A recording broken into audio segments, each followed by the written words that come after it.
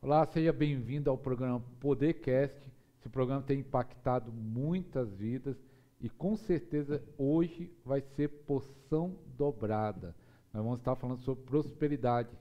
Tem dois homens de Deus, treinadores, mentores, que já tem milhares de alunos no Brasil e fora do Brasil. Então seja bem-vindo, pastor Alex, pastor Ricardo. Obrigado. É um prazer imenso estar aqui com você novamente, né? Segundo que eu participo, e juntamente com esta lenda aqui do meu lado. É um prazer grande, com certeza o bate-papo vai ser muito produtivo e muito rico. é isso aí. Para mim é uma grande honra estar dividindo mais uma vez esse podcast. Eu acho que no quarto, quinto, já perdi é as contas. Quinto. e hoje dividindo aqui o espaço com pastor Alex aqui, eu tenho certeza que vai ser muito produtivo, vai ser excelente, o conteúdo vai ser liberado para essa turma que está tá acompanhando.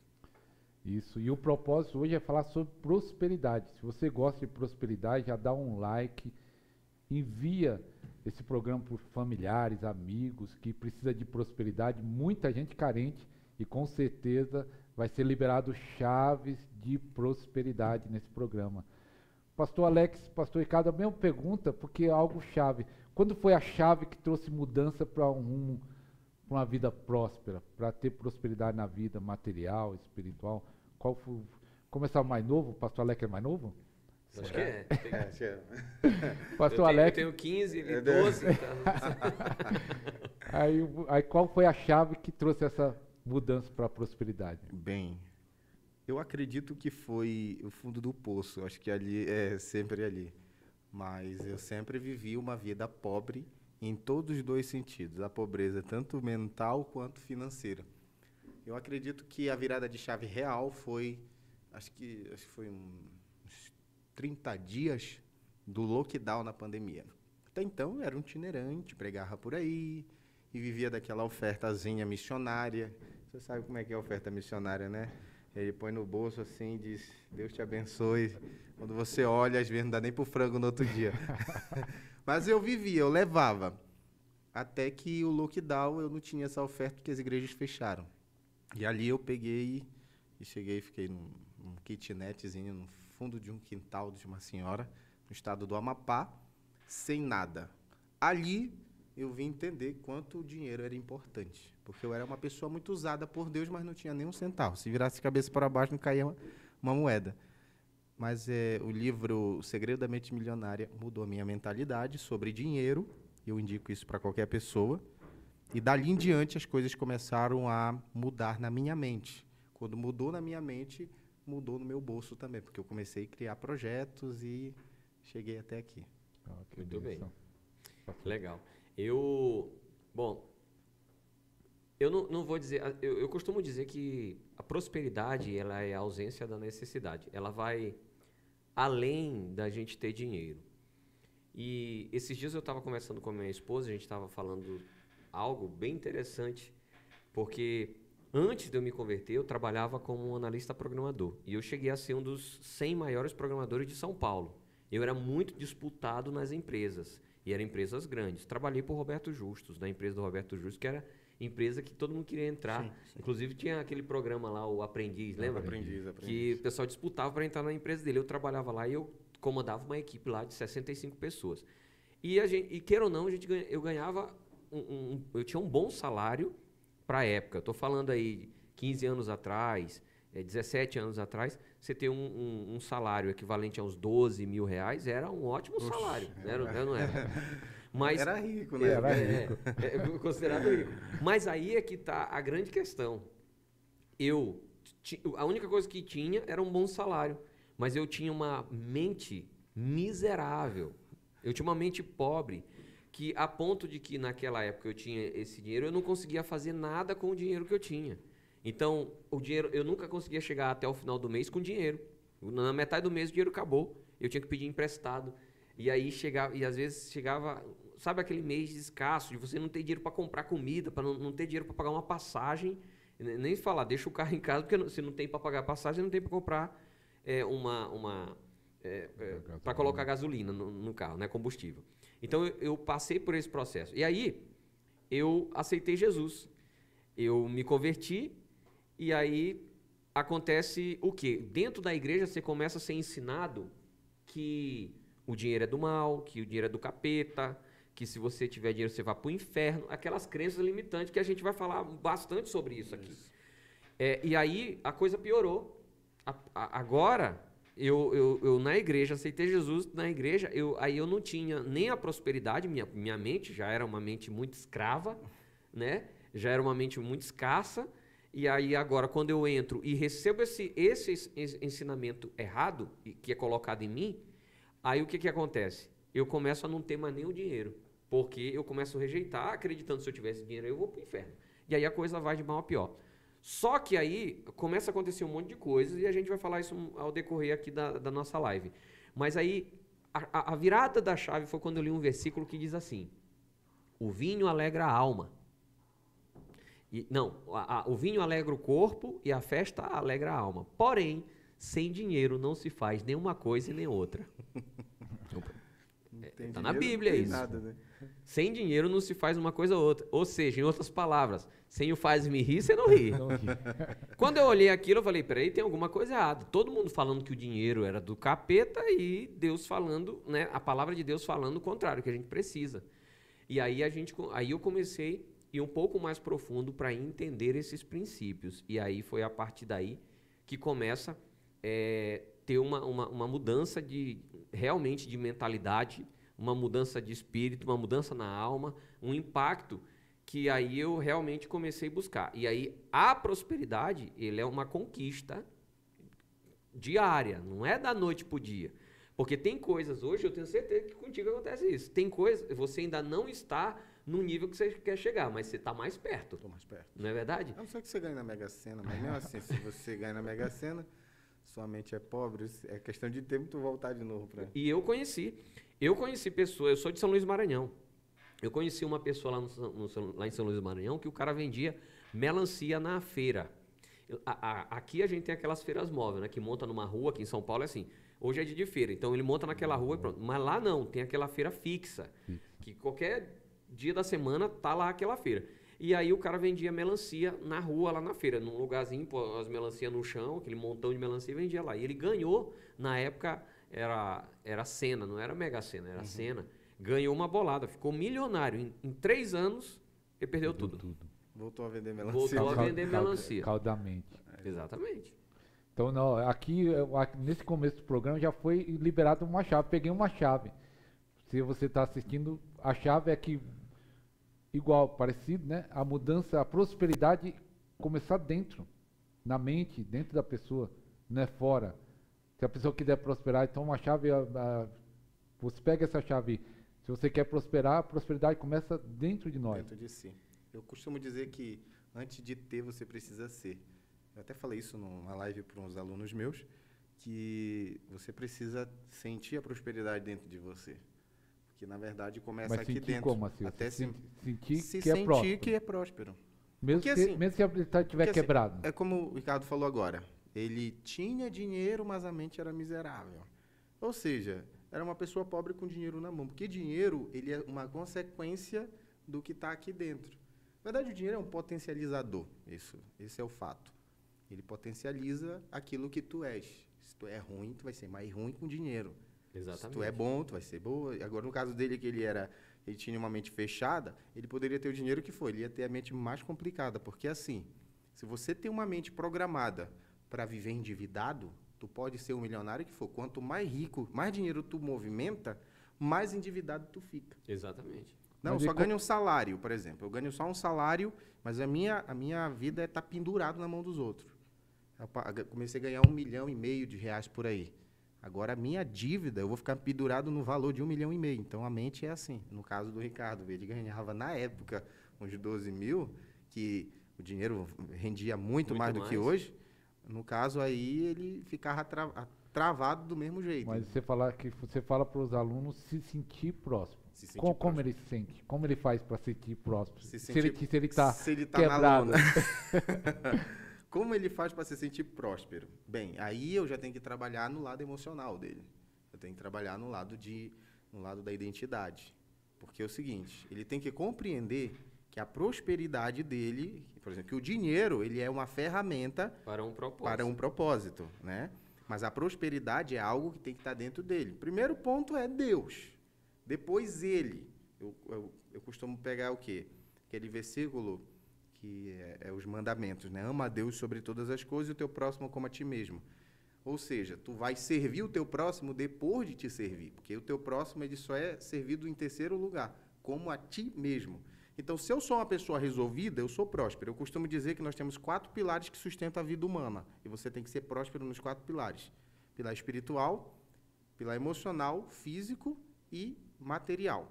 Se você for, for próspero nesses quatro pilares, você vive uma vida próspera. Agora, tem gente que não, que o, o pilar financeiro é quebrado, mas ele é bem espiritualmente. Então, o que acontece? Antes de eu ter o dinheiro, preciso ser uma pessoa próspera. E para ser próspero, nem, nem, precisa ter dinheiro. A, a, a, palavra de Deus, trazendo aqui uma ponte, é, as, ou melhor, as pessoas, elas vivem, você pode ver, hoje em dia, 90% dos cultos que são ministrados, eles são ministrados com o propósito de, da pessoa ela ter uma bênção. Ela vai em busca de uma bênção. Campanha disso. É uma campanha disso, uma campanha daquilo. E, ó, deixa eu falar uma coisa. Estou falando, sou contra a campanha, não. Antes de falarem o que eu faço. deixar claro, não vai é, dar Deixar claro, eu não sou contra a campanha, não. Tá? É, e, e, as campanhas, ela têm o seu poder. Eu digo que uma campanha bem feita, feita da forma correta e com o ensinamento correto, ela tem o poder de desatar o sobrenatural na vida da pessoa por meio da fé que é cultivada dentro dela. Ponto. Isso é uma coisa.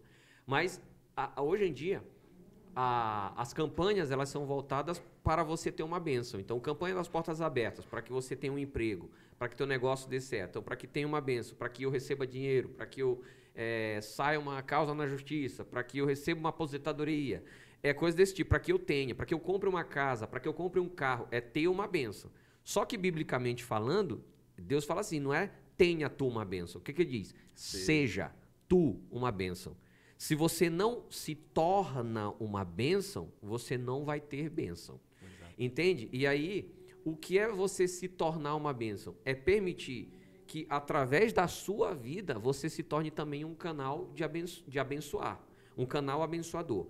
E aí, trazendo uma ponte para o que se refere a dinheiro, o, o pastor Alex acabou de dizer que o dinheiro é uma ferramenta, que ela é usada para um propósito. E é, e eu diria mais ainda, Imagina o seguinte: o senhor é um agricultor.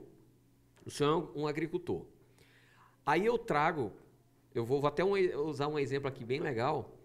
É, eu, eu, eu, fiz uma viagem para Foz do Iguaçu e eu para conhecer a história do café. E eu sou, sou cafezeiro. Eu gosto de café de verdade. Eu vou nos lugares para experimentar o café daquela safra que foi plantada em tal lugar, na, numa altitude tal, num clima tal. Eu sou desse tipo. Eu é. gosto desse tipo de café. E aí eu fui conhecer a história. Eu tenho um curso, até um diploma disso. Fui conhecer como que o café chegou. Um cara, ele, ele teve um caso com uma, uma princesa aí fora, e aí a princesa, para provar o amor dela por ele, deu a ele mil sacas de café, de grãos de café. E aí ele só queria o café, porque café antigamente, para quem não sabe, hoje todo mundo toma café, mas antigamente era considerado o elixir dos ricos. Era só conde, príncipe, rei que tomava café. E aí, esse cara queria, e ele ganhou essas mil sacas e trouxe esse café para o Brasil. E a partir daí o café começou ser difundido aqui, ser comercializado, plantar e tal. Fizeram vários testes. Mas enfim, voltando para a história aqui, vamos supor que você é um agricultor. Um agricultor. Eu pego e entrego para você mil sacas de grãos de alguma coisa. Se você pega essas cinco sacas de grãos e põe num armazém dentro ali do, do armazém do, do, da, da, tua fazenda e deixa esse grão lá. O que, que vai acontecer? Você acha que vai multiplicar esse grão? Não, vai estragar, dependendo, demorar muito. Vai estragar, você vai perder, não é? é? Jesus, ele, a palavra de Deus traz uma algo que Jesus está falando, olha, se você ficar juntando ouro e prata aí, para somente por juntar vai trazer, vai vir traço e vai comer tudo. Agora, o que, que acontece quando você pega aquelas mil sacas de, de grãos, mil sacas de grão, e começa a plantar na tua fazenda? Ela não vai somente dar o fruto que vai multiplicar aquelas sementes, não. Mas quantas famílias serão abençoadas pelo teu plantio? Porque tem trabalhadores que você vai contratar para trabalhar, você não vai trabalhar sozinho. E mesmo assim, o a multiplicação daquilo ali, o recurso que vai ser gerado por ali, quando você vai comprar, quando você vai. Você acaba abençoando outras pessoas. É ou não é? O que é uma pessoa que tem uma mente miserável? O que que é uma pessoa que ela não tem uma mente próspera? Eu só quero dinheiro para acumular. Eu só quero dinheiro para me fazer ali o meu patrimônio inchar. Eu não sou um abençoador. Eu não permito com que essa semente ela multiplique para abençoar outras pessoas. Exatamente. Acabou. Essa pessoa não é uma pessoa próspera. Eu acredito que. E aí não consegue prosperar. Não tem, e tem um, um versículo que eu, que eu entendo, acho que um dos versículos mais famosos da Bíblia é ser de fiel no pouco, que no muito eu te colocarei. Eu digo sempre, se você, tendo pouquinho, não ajuda as pessoas, tu é suspeito. Porque tem gente que diz, eu não ajudo agora porque eu só tenho um quilo de feijão, eu não consigo dividir ainda, mas o dia que Deus me abençoar, eu faço. Eu acredito muito que essa pessoa é mentirosa, porque se você não for fiel agora no pouquinho, não vai vir um muito. Porque a multiplicação dos cinco pães e peixe foi porque havia aquele povo para comer. Senão, não haveria multiplicações. Pode olhar que Jesus pega o, o pão e o peixe e manda os discípulos dividir o povo em grupos de 50 e de 100 para poder multiplicar. Então, eh, se você tem dinheiro, tem recurso, e você não serve, não transborda, como o Ricardo falou, você é pobre, você é uma pessoa miserável, você é uma pessoa egoísta, que só pensa em você. Então, é, você tem que entender que a prosperidade ela, ela serve para você transbordar e servir. Quer ver, quer ver como a gente identifica uma mente pobre? Uma mente Como? miserável? Como? Quer? Vamos lá. Mande lá, mande lá. Tem gente que vai ficar com raiva de mim. Será? Vai. Vai viralizar esse pedaço aqui? É. É, depois eu vou falar dos virais. É. Mas Você chega, você encontrou um andarilho na rua. Seja um mendigo, um morador de rua, e ele vem e pede para você dinheiro. A primeira coisa, aí eu pergunto, você que está me assistindo, o que, que você faz? Você dá, você tem, tá ali o dinheiro, você dá o dinheiro para ele, ou você pensa assim, não, eu não vou dar. Porque se eu der, ele vai comprar droga, vai, vai, vai comprar bebida, vai comprar cigarro, vai fazer não sei o quê. Você pensa isso. Geralmente, tem gente que vai dizer assim, não, eu dou, né? Tem gente que vai ser, vai, vai ser sincero, vai dizer, não, eu sou esse que não, que não dou, porque ele vai comprar coisa errada, vai fazer coisa errada com dinheiro. Eu pergunto para você, você acredita que tudo que você tem foi Deus que te deu? Tudo que você tem foi Deus que te abençoou? Ou você acredita que tudo que você tem você conseguiu com a força do teu braço? Se você coloca Deus como sendo supremo sobre você e tudo que você tem é porque Ele esteve te sustentando para que você tivesse aquilo, eu pergunto: tudo que Ele te deu, você usou só para coisas lícitas ou teve coisa que você fez que Deus não se agradaria? E quantas vezes Deus veio e falou para você, olha, eu te dei isso e você fez aquilo, aquilo, aquilo. Quantas vezes? Nenhuma. Deus não, não te cobrou por isso, né? Não joga na cara. Não joga na cara. Por que, que você quer fazer isso com o outro? Sabe como é o nome disso daí? É espírito de controle, de domínio. Você quer dominar o outro. E Deus não dá autoridade para ninguém dominar o outro. Imagina o que, que você vai fazer com o próximo quando Deus te der muito dinheiro. Ai, essa ah, doeu. fica pior. Porque, como falei, o dinheiro é um potencializador do que tu já é. Então, se você é essa pessoa mesquinha, tu vai ser muito pior. E eu já conheci pessoas mesquinhas que tinha muito dinheiro e ele não tinha coragem de jogar fora uma garrafa de, de água e deixar guardado porque na cabeça dele vai servir para alguma coisa. E tem um interessante no podcast que o pastor Alex fez, foi o número 7, e o primeiro que o pastor Ricardo já participou de outro, mas no número 5, você entra no canal, tem um playlist podcast completo. Aí tem um do 7, que o pastor Alex já fez, contou toda essa história, e o 5. Eu tô lembrando dos ganchos dos dois, porque no 5 o pastor Ricardo falou que uma, uma das coisas que também travava era o problema que tinha com, com o pai. Sim. E o próprio pastor Alex também falou que a vida dele deslanchou porque ele tinha uma mágoa e aí ele até explica lá que foi curado. Então, às vezes também feridas é, com pai, com mãe, com alguém, pode também ser um bloqueio Para prosperidade? para a prosperidade. Com certeza, com certeza. Eu, repetindo lá aquele pedaço, eu fui machucado pelo meu pai, o Ricardo não sabe disso. quando eu fui despedir dele para me viver um sonho que eu queria ser pregador, ele me falou horrores, me amaldiçoou ali com muitos palavrões, falou coisas absurdas. Nas, na época, meu pai era, não sabia, E tinha noção das Tinha coisas. 17 anos, Eu parece. tinha 17 anos, se eu resolvi esse problema, a minha vida começou a andar. Eu carregava uma mágoa dele por 11 anos. Eu sentava, comia com ele, mas não conseguia ter aquele papo, não abraçava, nem tocava na mão dele. Então eu tive que resolver isso. Mas esse, mas gancho que vem do pai. E, e nós hoje na fase adulta tem dificu, nós temos dificuldade de prosperar, tem tudo a ver.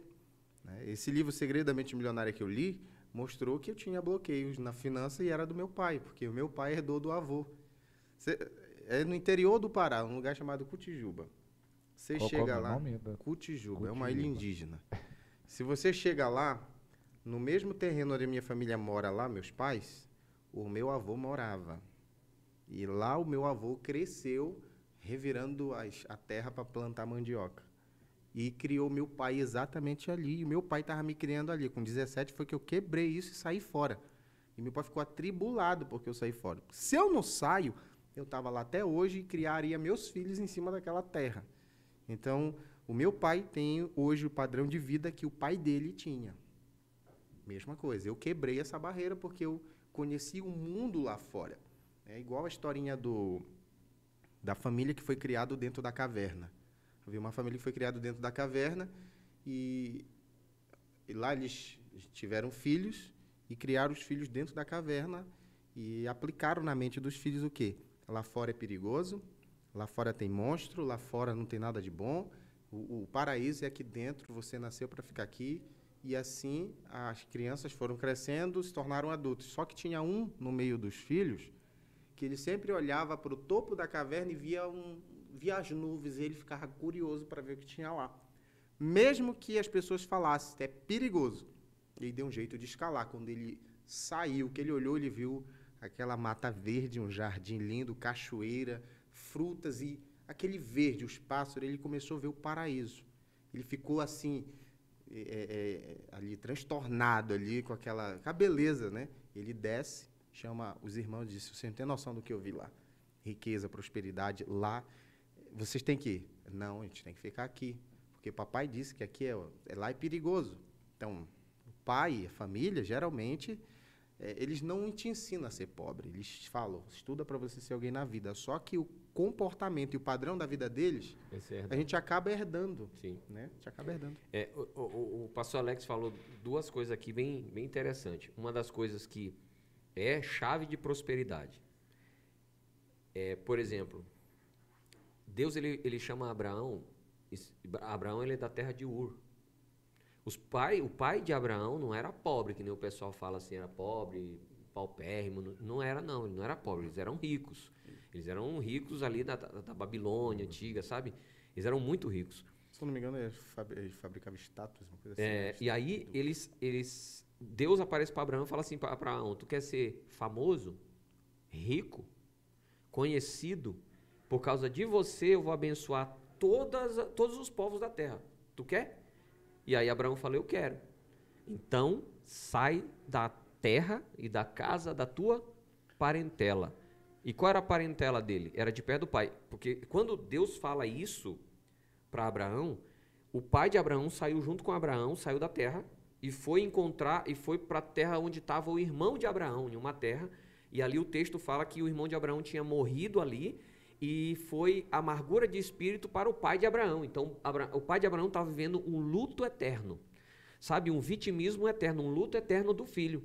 E aí Deus, para transformar, para cumprir a promessa dele sobre a vida de Abraão, falou assim: "Te- você tem que sair daí.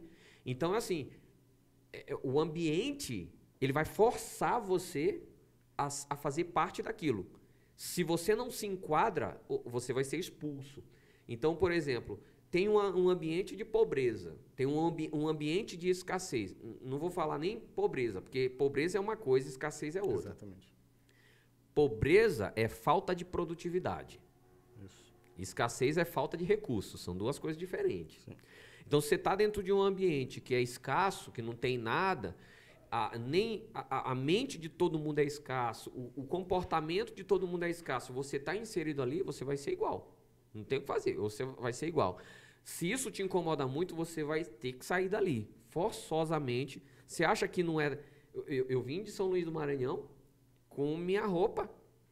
Saí de lá, vim pra cá, falei, vou ter que me virar aqui. Cheguei aqui na casa da minha mãe, não fiquei nem muito tempo morando com ela.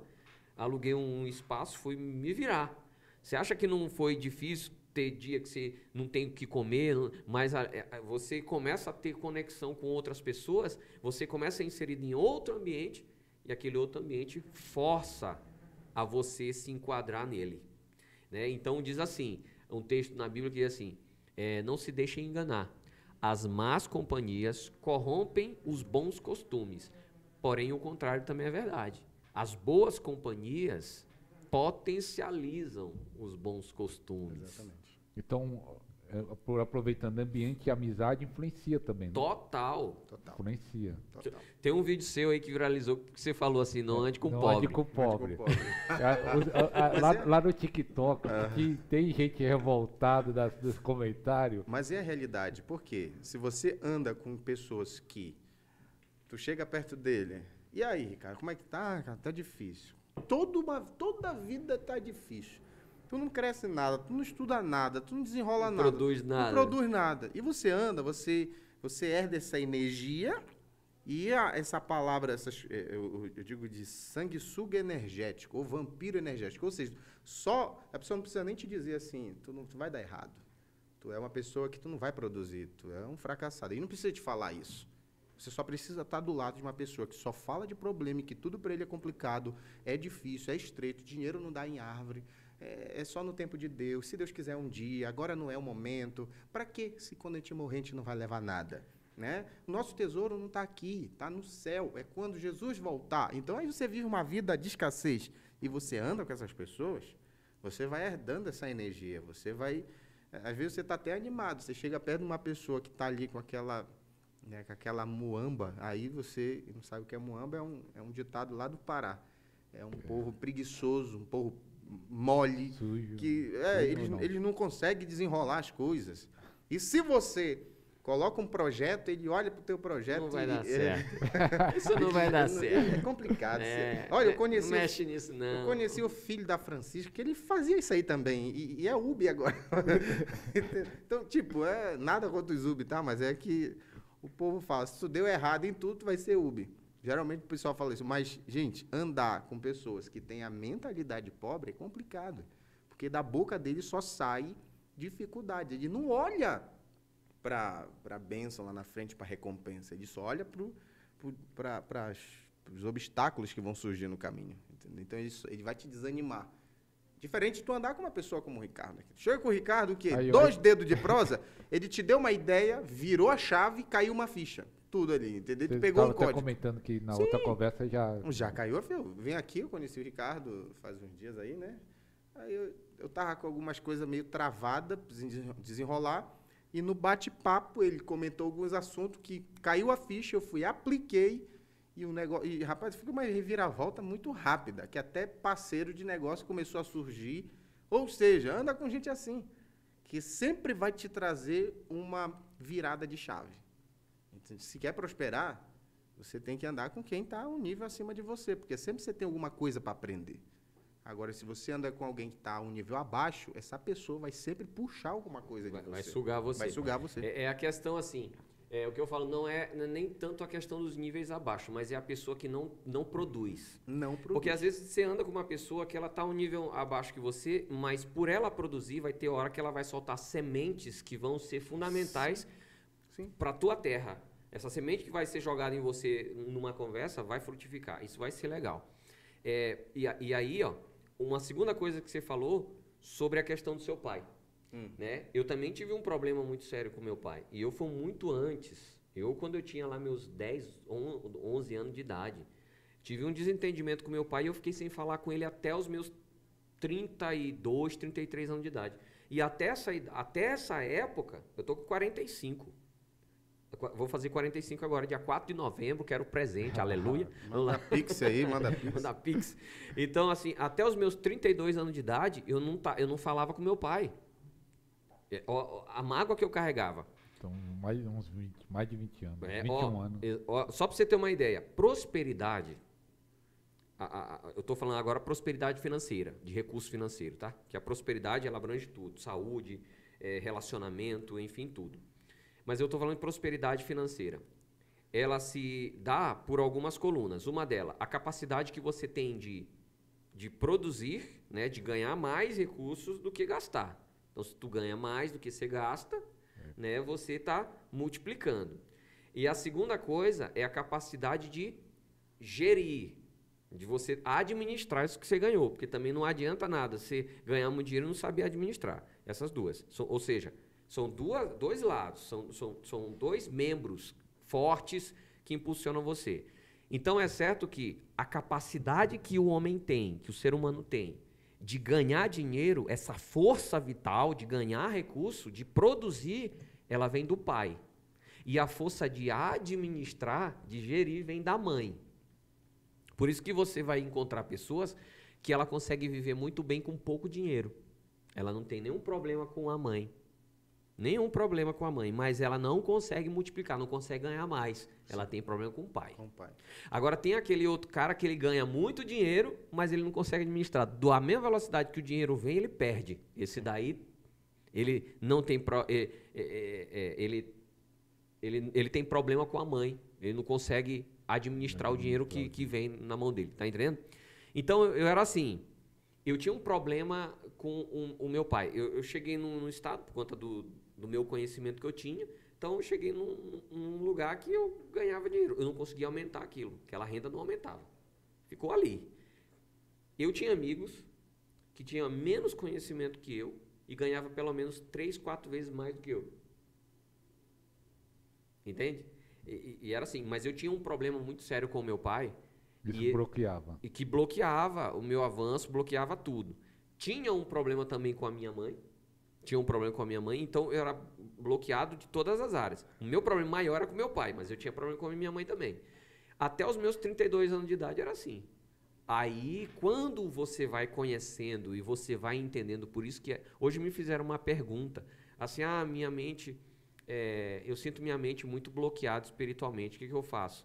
A palavra de Deus diz assim, é, renovai as vossas mentes no conhecimento, no entendimento, para que possa compreender a boa, perfeita e agradável vontade do Senhor. Tem uma tradução que fala da sua mente, né? E outra fala do entendimento, porque a Bíblia trata mente e entendimento da mesma coisa. Então, para você ver como isso é muito importante, a gente buscar esse conhecimento para que a gente identifique quais são os registros que estão bloqueando a nossa vida. Então, tem gente que está nos assistindo aqui, eu sei que muita gente que segue o pastor é por- são pessoas de igreja, são pessoas que que estão buscando ali, tem uma vida longe do pecado, lê a Bíblia, sobe monte, Ora, faz jejua. campanha, ora, jejua e não consegue mudar a vida dela. E está achando que a oração vai mudar isso. Não vai, não. Enquanto não resolver os registros emocionais que estão travando, e isso você precisa descobrir, como que você descobre? Porque provavelmente vão perguntar isso. Como é que descobre? Como? Aí tem uma série, tem uma série de coisas. O, pastor Alex tem os treinamentos dele que ele faz para a cura da alma, tem os treinamentos que ele ensina, tem os nossos treinamentos que, que também segue na mesma linha. E isso vai trazendo lu- luz à tua, à tua mente, é, é, até, é, e isso é o Espírito Santo que vai usando. Sim.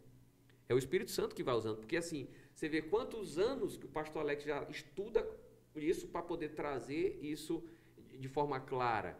Eu, quanto tempo eu já estudo, quanto que o tempo que o pastor Ariston já estuda para trazer isso já mastigado para que faça sentido para que vocês possam encurtar esse caminho para chegar.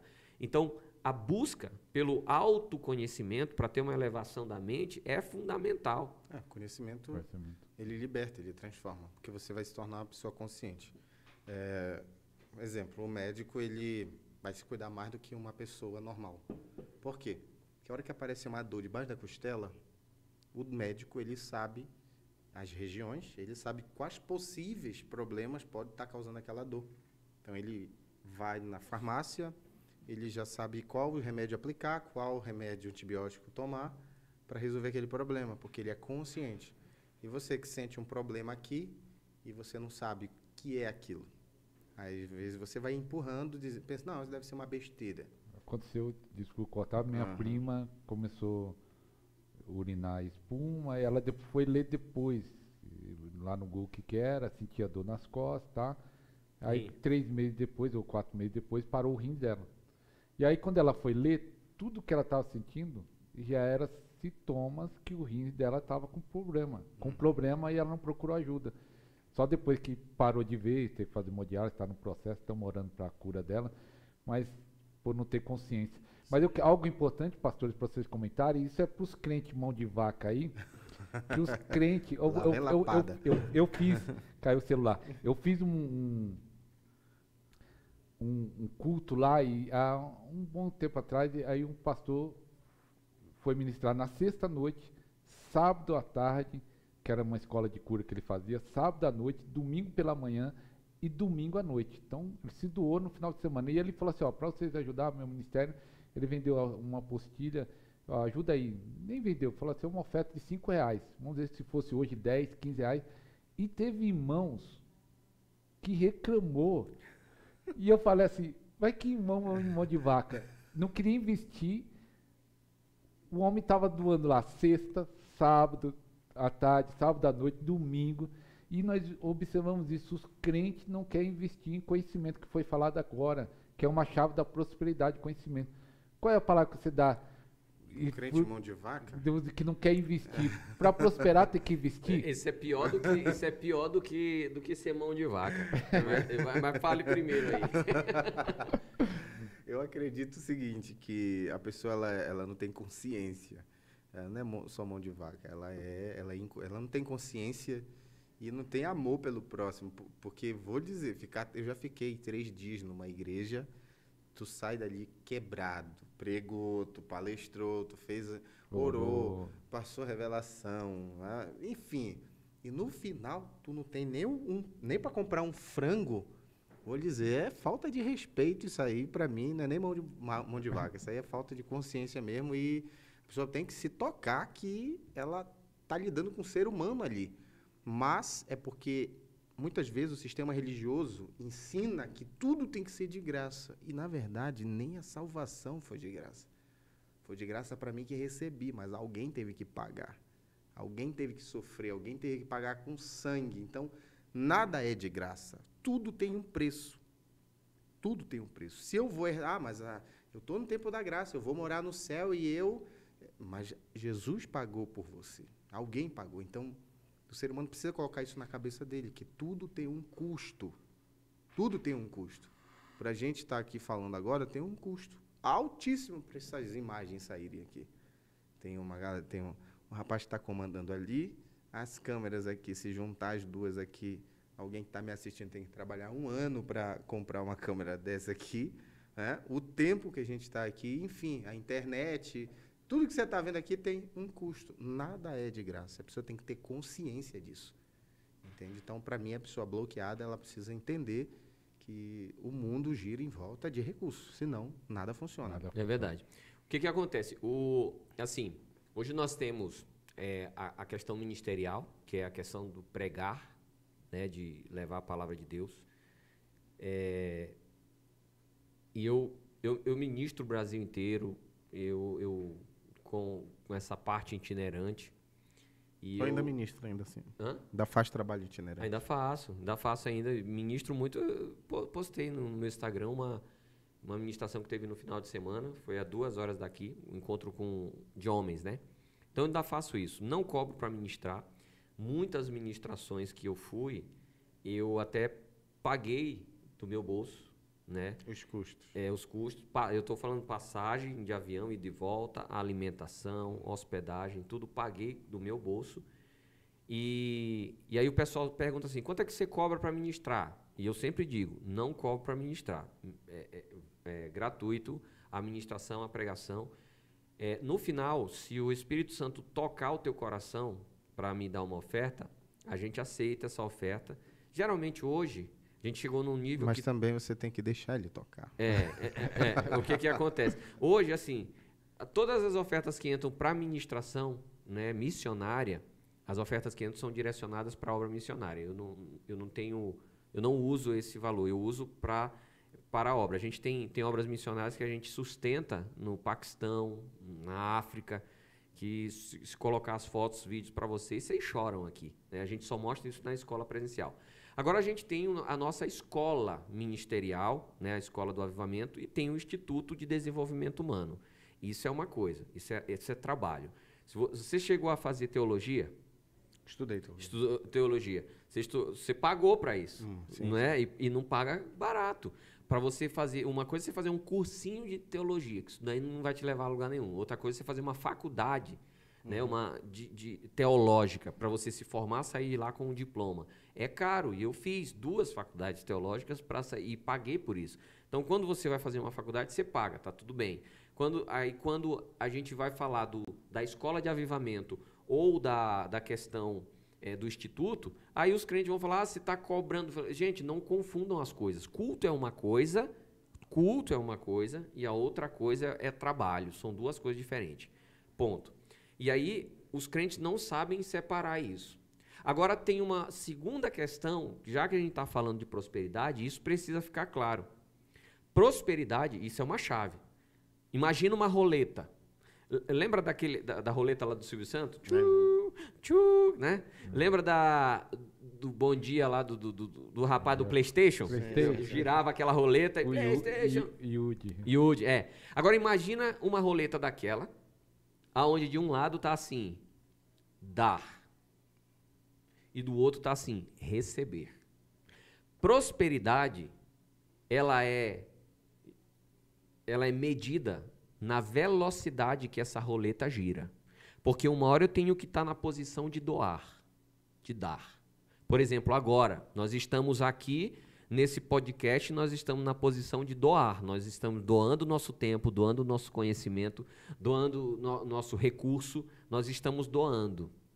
E tem a, a hora de receber. A hora de receber é a hora do meu negócio. Lá eu não dou desconto, lá não tem. Não, é aquilo lá. Agora tem hora que eu estou doando. Então toda pessoa ela tem que saber a hora que ela doa, que é a hora que ela planta e a hora que ela colhe. Ela tem que estar nas duas posições, senão ela não prospera. Então assim, hoje nós temos o nosso lado doação, é o que é a, a, as, os missionários, a, as ministrações missionárias, cultos que a, que a gente vai e faz aí e a gente dá roda muito. Toda semana a gente está em um lugar diferente.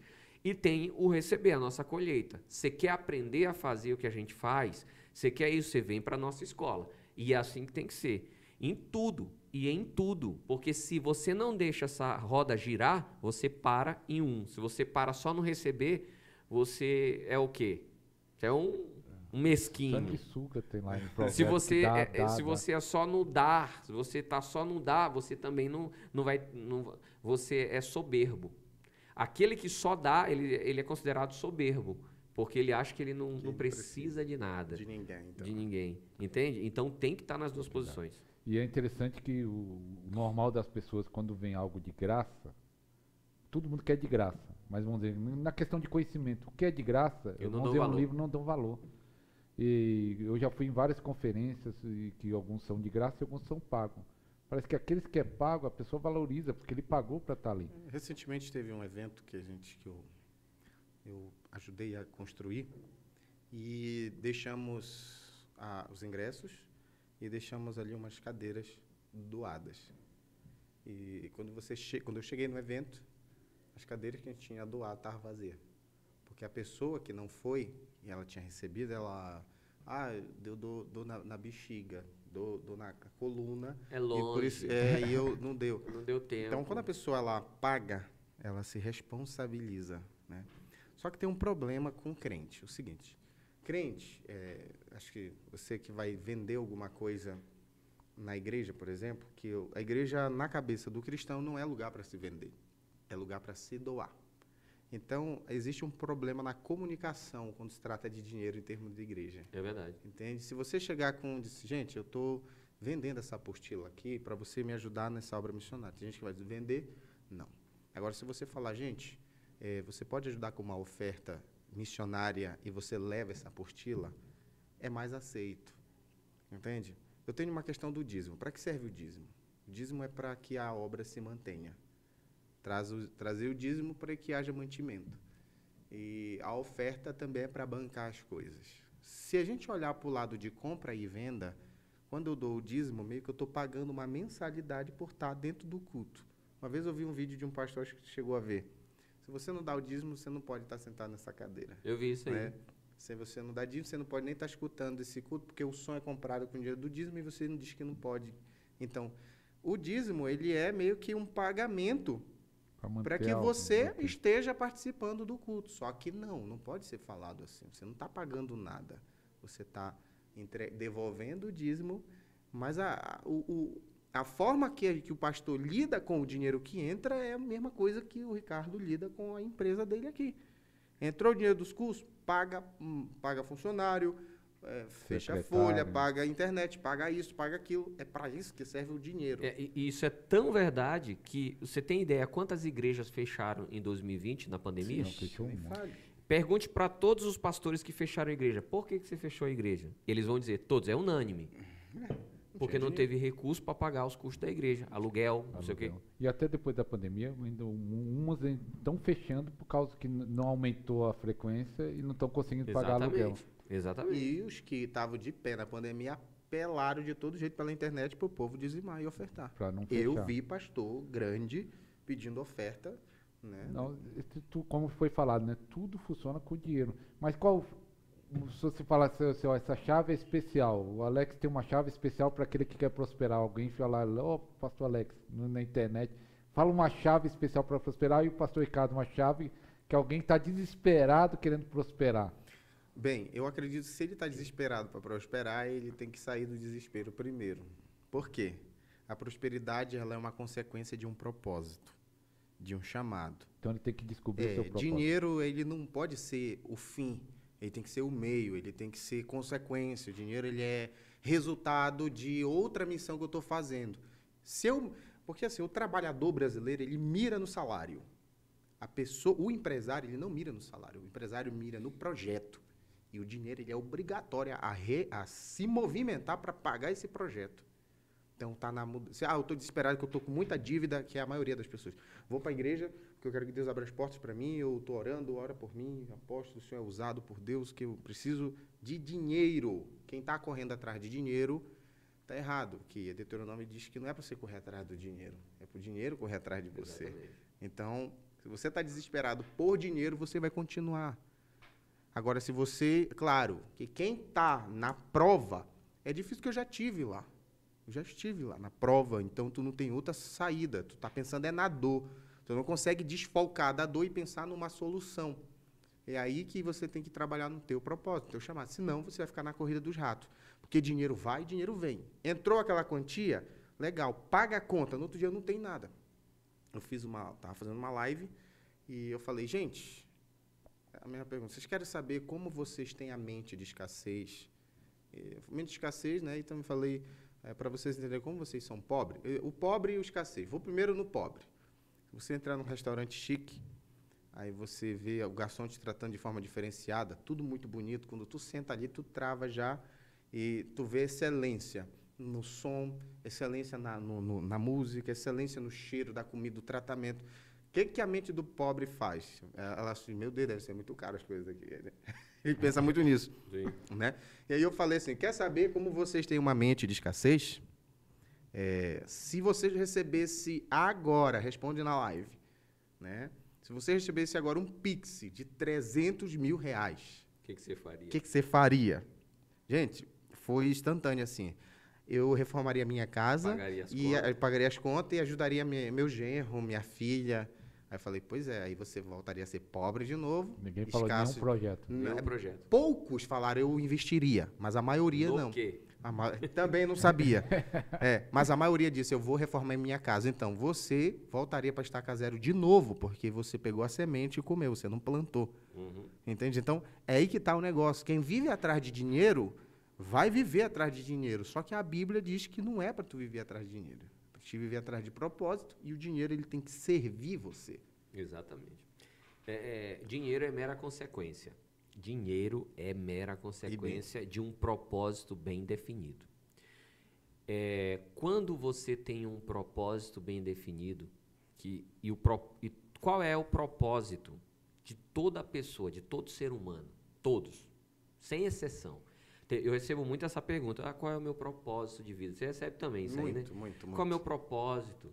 O propósito dele, meu e o seu, e de todo mundo que está aqui no estúdio, todo mundo que está nos assistindo, o propósito é um só. Só tem um motivo porque você está nessa terra. E eu te garanto, você tá pobre porque você não está cumprindo seu propósito. Sabe qual é o propósito de todo código. mundo? Pega esse código. Isso aqui é forte. Pentecostal entra até no manto agora É pode, é. né? O propósito de todo ser humano na Terra é servir, ao próximo, é servir a humanidade. Eu estou aqui para servir o próximo. O meu propósito de aí, o que difere eu dele de você é como eu vou fazer isso, como é que eu vou cumprir meu propósito. Ele vai servir de uma forma, o senhor serve de outra, eu sirvo de outra forma, que é a nossa missão. Ele serve de outra forma. Todo mundo, você tá- vai servir de outra forma. Ponto. Mas quando eu sei, o meu propósito é servir. Como que eu vou servir? Eu, aí eu falo, Ricardo Costa, como é que eu sirvo? Ah, como é que eu cumpro o meu propósito? Servindo de que forma? Através das pregações, através do, do instituto, enfim, a gente tem várias coisas. Inclusive tem o negócio que a gente montou do encapsulado, que a gente já falou em outro, em outro post aqui. Então, a gente trouxe uma, uma, uma fórmula de Israel, patenteou aqui, criou um encapsulado, está vendendo. É, é- é um suplemento Bálsamo de o bálsamo de Gileade. E aí a gente está servindo pessoas através desse, de- desse suplemento. E tem outros. A gente tem a empresa que a gente lança outras pessoas, que a gente é, é, promove pessoas que detêm um conhecimento, mas não sabe colocar isso na mídia, não sabe vender. A gente tem esse, é, essa, essa, essa missão também, essa linha. Então, eu sirvo de várias formas. Quando eu começo a me movimentar, e aí eu volto lá atrás, lá no início, que é aquilo que a gente já conversou quando a gente se conheceu, que quando eu tinha isso e algo borbulhava, e você sabe que é isso que borbulha na gente, é isso que eu tenho que fazer, e a gente fica feliz, a gente acorda motivado para fazer aquilo. Chega uma hora que tu começa a cansar, porque a impressão que dá é que tudo que você faz, aquilo que você sabe que é teu propósito, não está fluindo. E aí você fica agoniado, não flui. De que forma? Não está vindo mais recurso, não está vindo mais dinheiro, e você diz assim, tem alguma coisa errada, Deus. Aí Deus faz assim, peraí, não tem nada errado, mas precisa de dinheiro, precisa de recursos para fazer esse negócio crescer, para multiplicar. Então ele faz o quê? Deus não manda dinheiro. Deus não vai te dar dinheiro. Deus vai mandar, sabe o quê? Pessoas que vão somar nesse propósito para a coisa crescer, multiplicar, aí o recurso vem. Vem. Entende? Então, assim, quer prosperar, a chave mestra para você prosperar, descubra o seu propósito e comece a se movimentar nele, na sua missão. Se você faz isso, o dinheiro começa a vir para que o teu propósito seja cumprido de forma excelente. Dinheiro por si só vai te levar só para o inferno.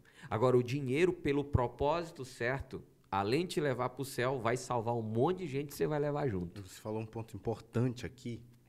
Está falando de prosperidade e riqueza. que Para mim é a mesma coisa. É. Né?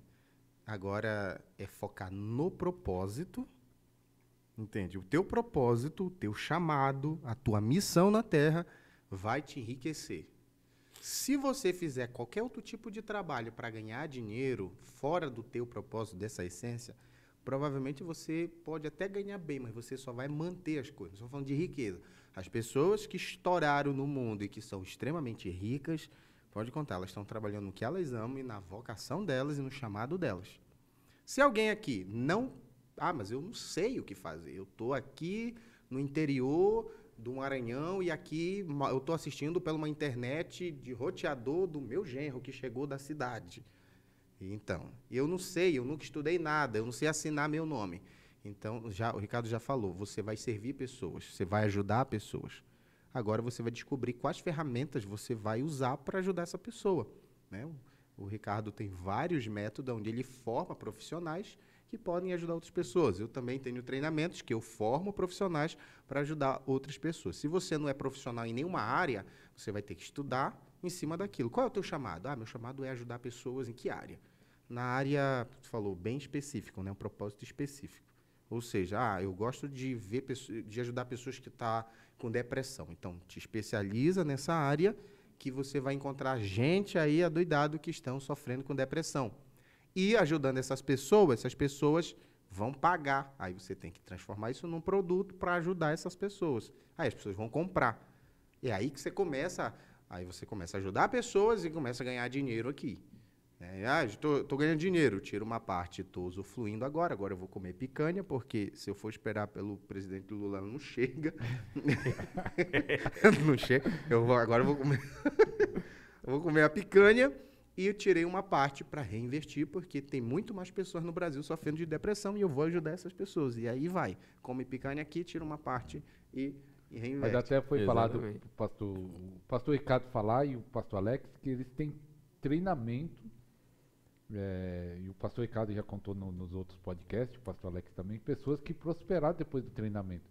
Qual do seu treinamento, treinamento do Alex, que você fala, ó, esse daqui, se tem algum aberto que possa ajudar... Treinamento? É, treinamento. É, a gente tem treinamentos, a gente tem formação, né? As formações, a pessoa que vem, por exemplo, e, e isso é uma coisa que eu recomendo muito até para pastores. Eu, eu já falei em outras lives aqui, em outro, outro podcast, que assim, 90% das igrejas, os pastores não são capacitados para cuidar da alma da pessoa. Eles acreditam que vai cuidar tudo por, por questões somente da oração. Eu acredito no poder da oração, acredito que Deus ele pode fazer tudo. Porém, que se você não trata a alma da pessoa, tem coisas que pode até curar com a oração, mas depois vai voltar e pode voltar pior. Então precisa cuidar da alma das pessoas. Um exemplo claro, você acabou de falar de depressão. Né? Depressão. Então, a, a depressão, é, o na igreja o pessoal trata somente como? Que é demônio. E as pessoas, a pessoa às vezes não está com depressão, não é por causa de demônio. É um às vezes é- é- é- às vezes é uma questão é, emocional, uma ferida na alma, às vezes pode ser até mecânico, ela é, uma algum componente, alguma vitamina, algum hormônio dela não está produzindo, jogou ela lá para baixo e ela precisa repor e a medicina vai ajudar. Então a gente tem que analisar isso. Então a igreja ela não está preparada para isso e a gente tem as formações que trabalham é, com pessoas em relação a isso as formações de cura da alma, de inteligência emocional, a- as formações voltadas para terapia. Então, tem muitos pastores. A gente acabou de formar um grupo aí de 80 pastores, 80 pessoas, né, que se tornaram é, pastores e terapeutas. Então, elas usam a terapia dentro da igreja para ajudar pessoas a saírem do, do buraco emocional que elas entraram. E também montaram clínicas para atender o pessoal lá fora. Olha só o que é, so- o que é somar no propósito.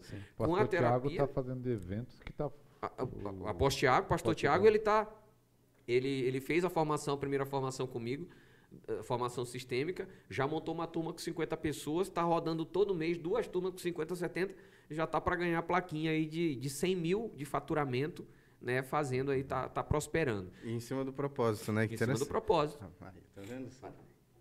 E o treinamento seu? Qual o treinamento? Bem, que- hoje, é, uma das- um dos pontos aqui que o Ricardo falou muito importante, gente, eu passei, inclusive, vou falar aqui para vocês, que logo que eu entrei para esse campo é, de, de dar treinamento online, de criar isso, eu assistia lives eh, que eu queria conteúdos para me aplicar no meu negócio.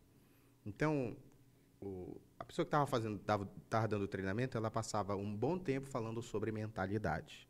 É o que a gente está falando aqui. Quem sabe você tá, ah, mas ele não passa uma técnica, um código, porque não adianta. Você primeiro tem que se resolver para depois mexer com dinheiro.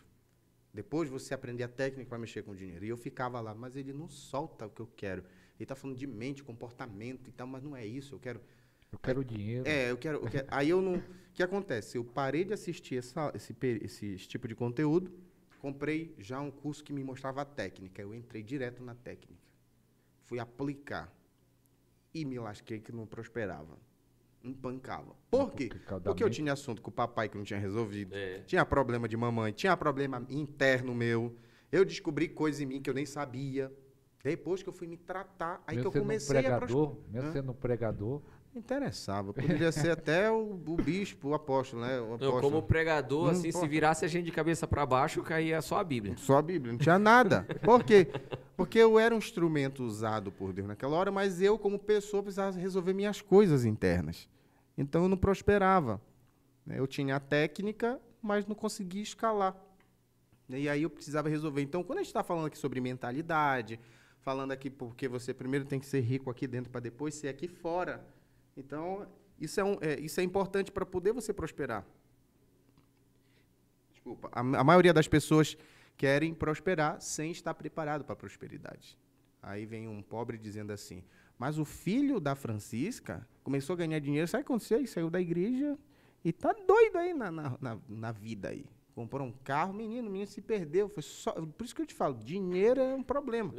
Na verdade, não, é que ele já estava desviado, ele já estava é. doido e só fez funcionar, só, só assumiu de uma vez, entende? Então, essa parte é muito importante. Voltando aqui para o treinamento, é, a primeira coisa que eu passei muito tempo fazendo foi ajudando pessoas a se desbloquearem. E eles, eles voltavam para os trabalhos deles e começavam a prosperar. Aí, agora, recentemente, bati um papo com o Ricardo e nós conseguimos abrir a mente aqui para criar produtos para formar outras pessoas. Por quê? Tem gente que não sabe, eu já entendi que meu propósito é servir, só que eu não sei de nada.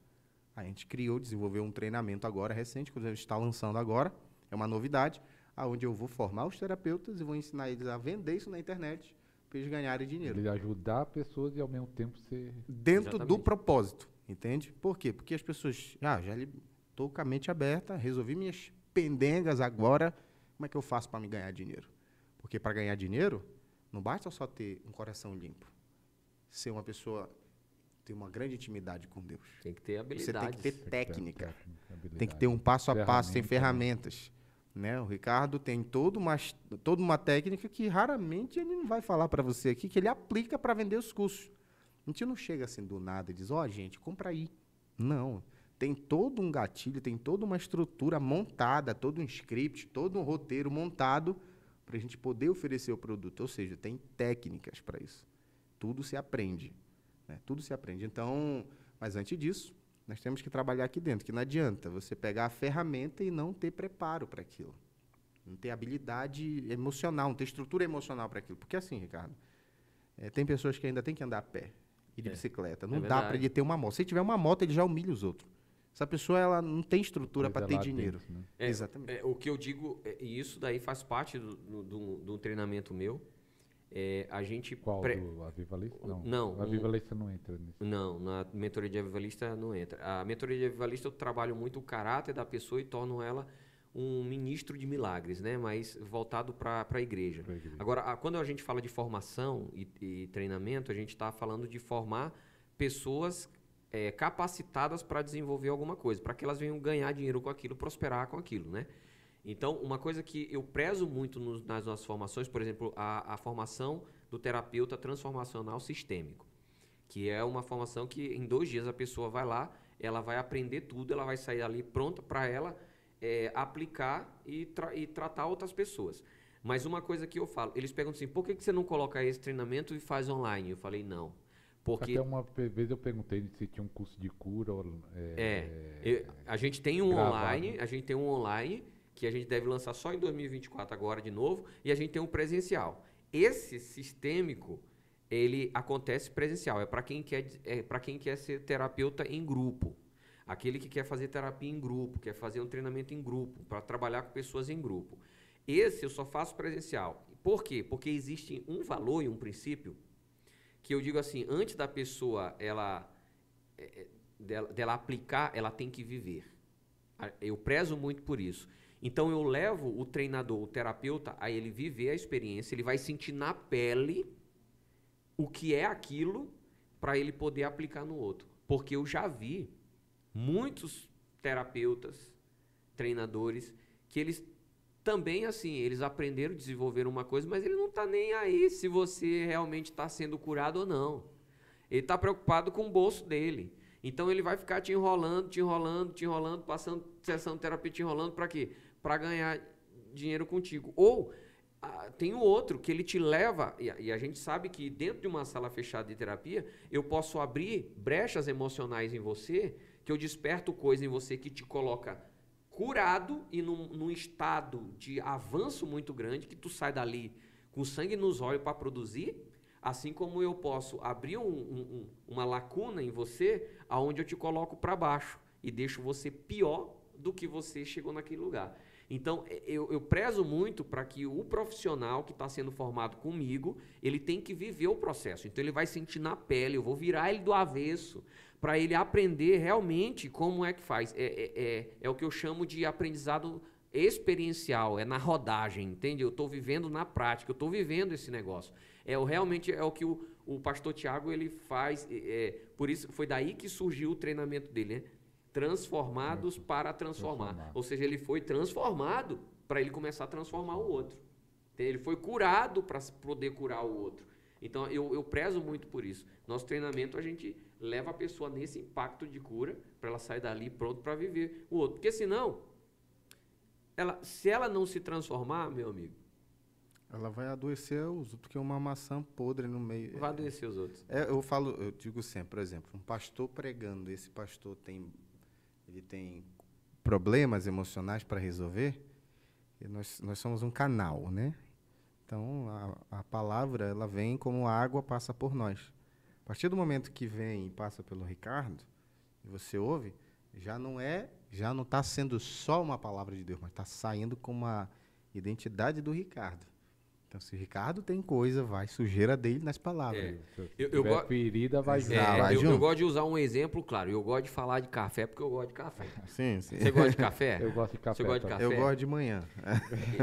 Imagina o café. É, eu vou falar da, da forma antiga do café.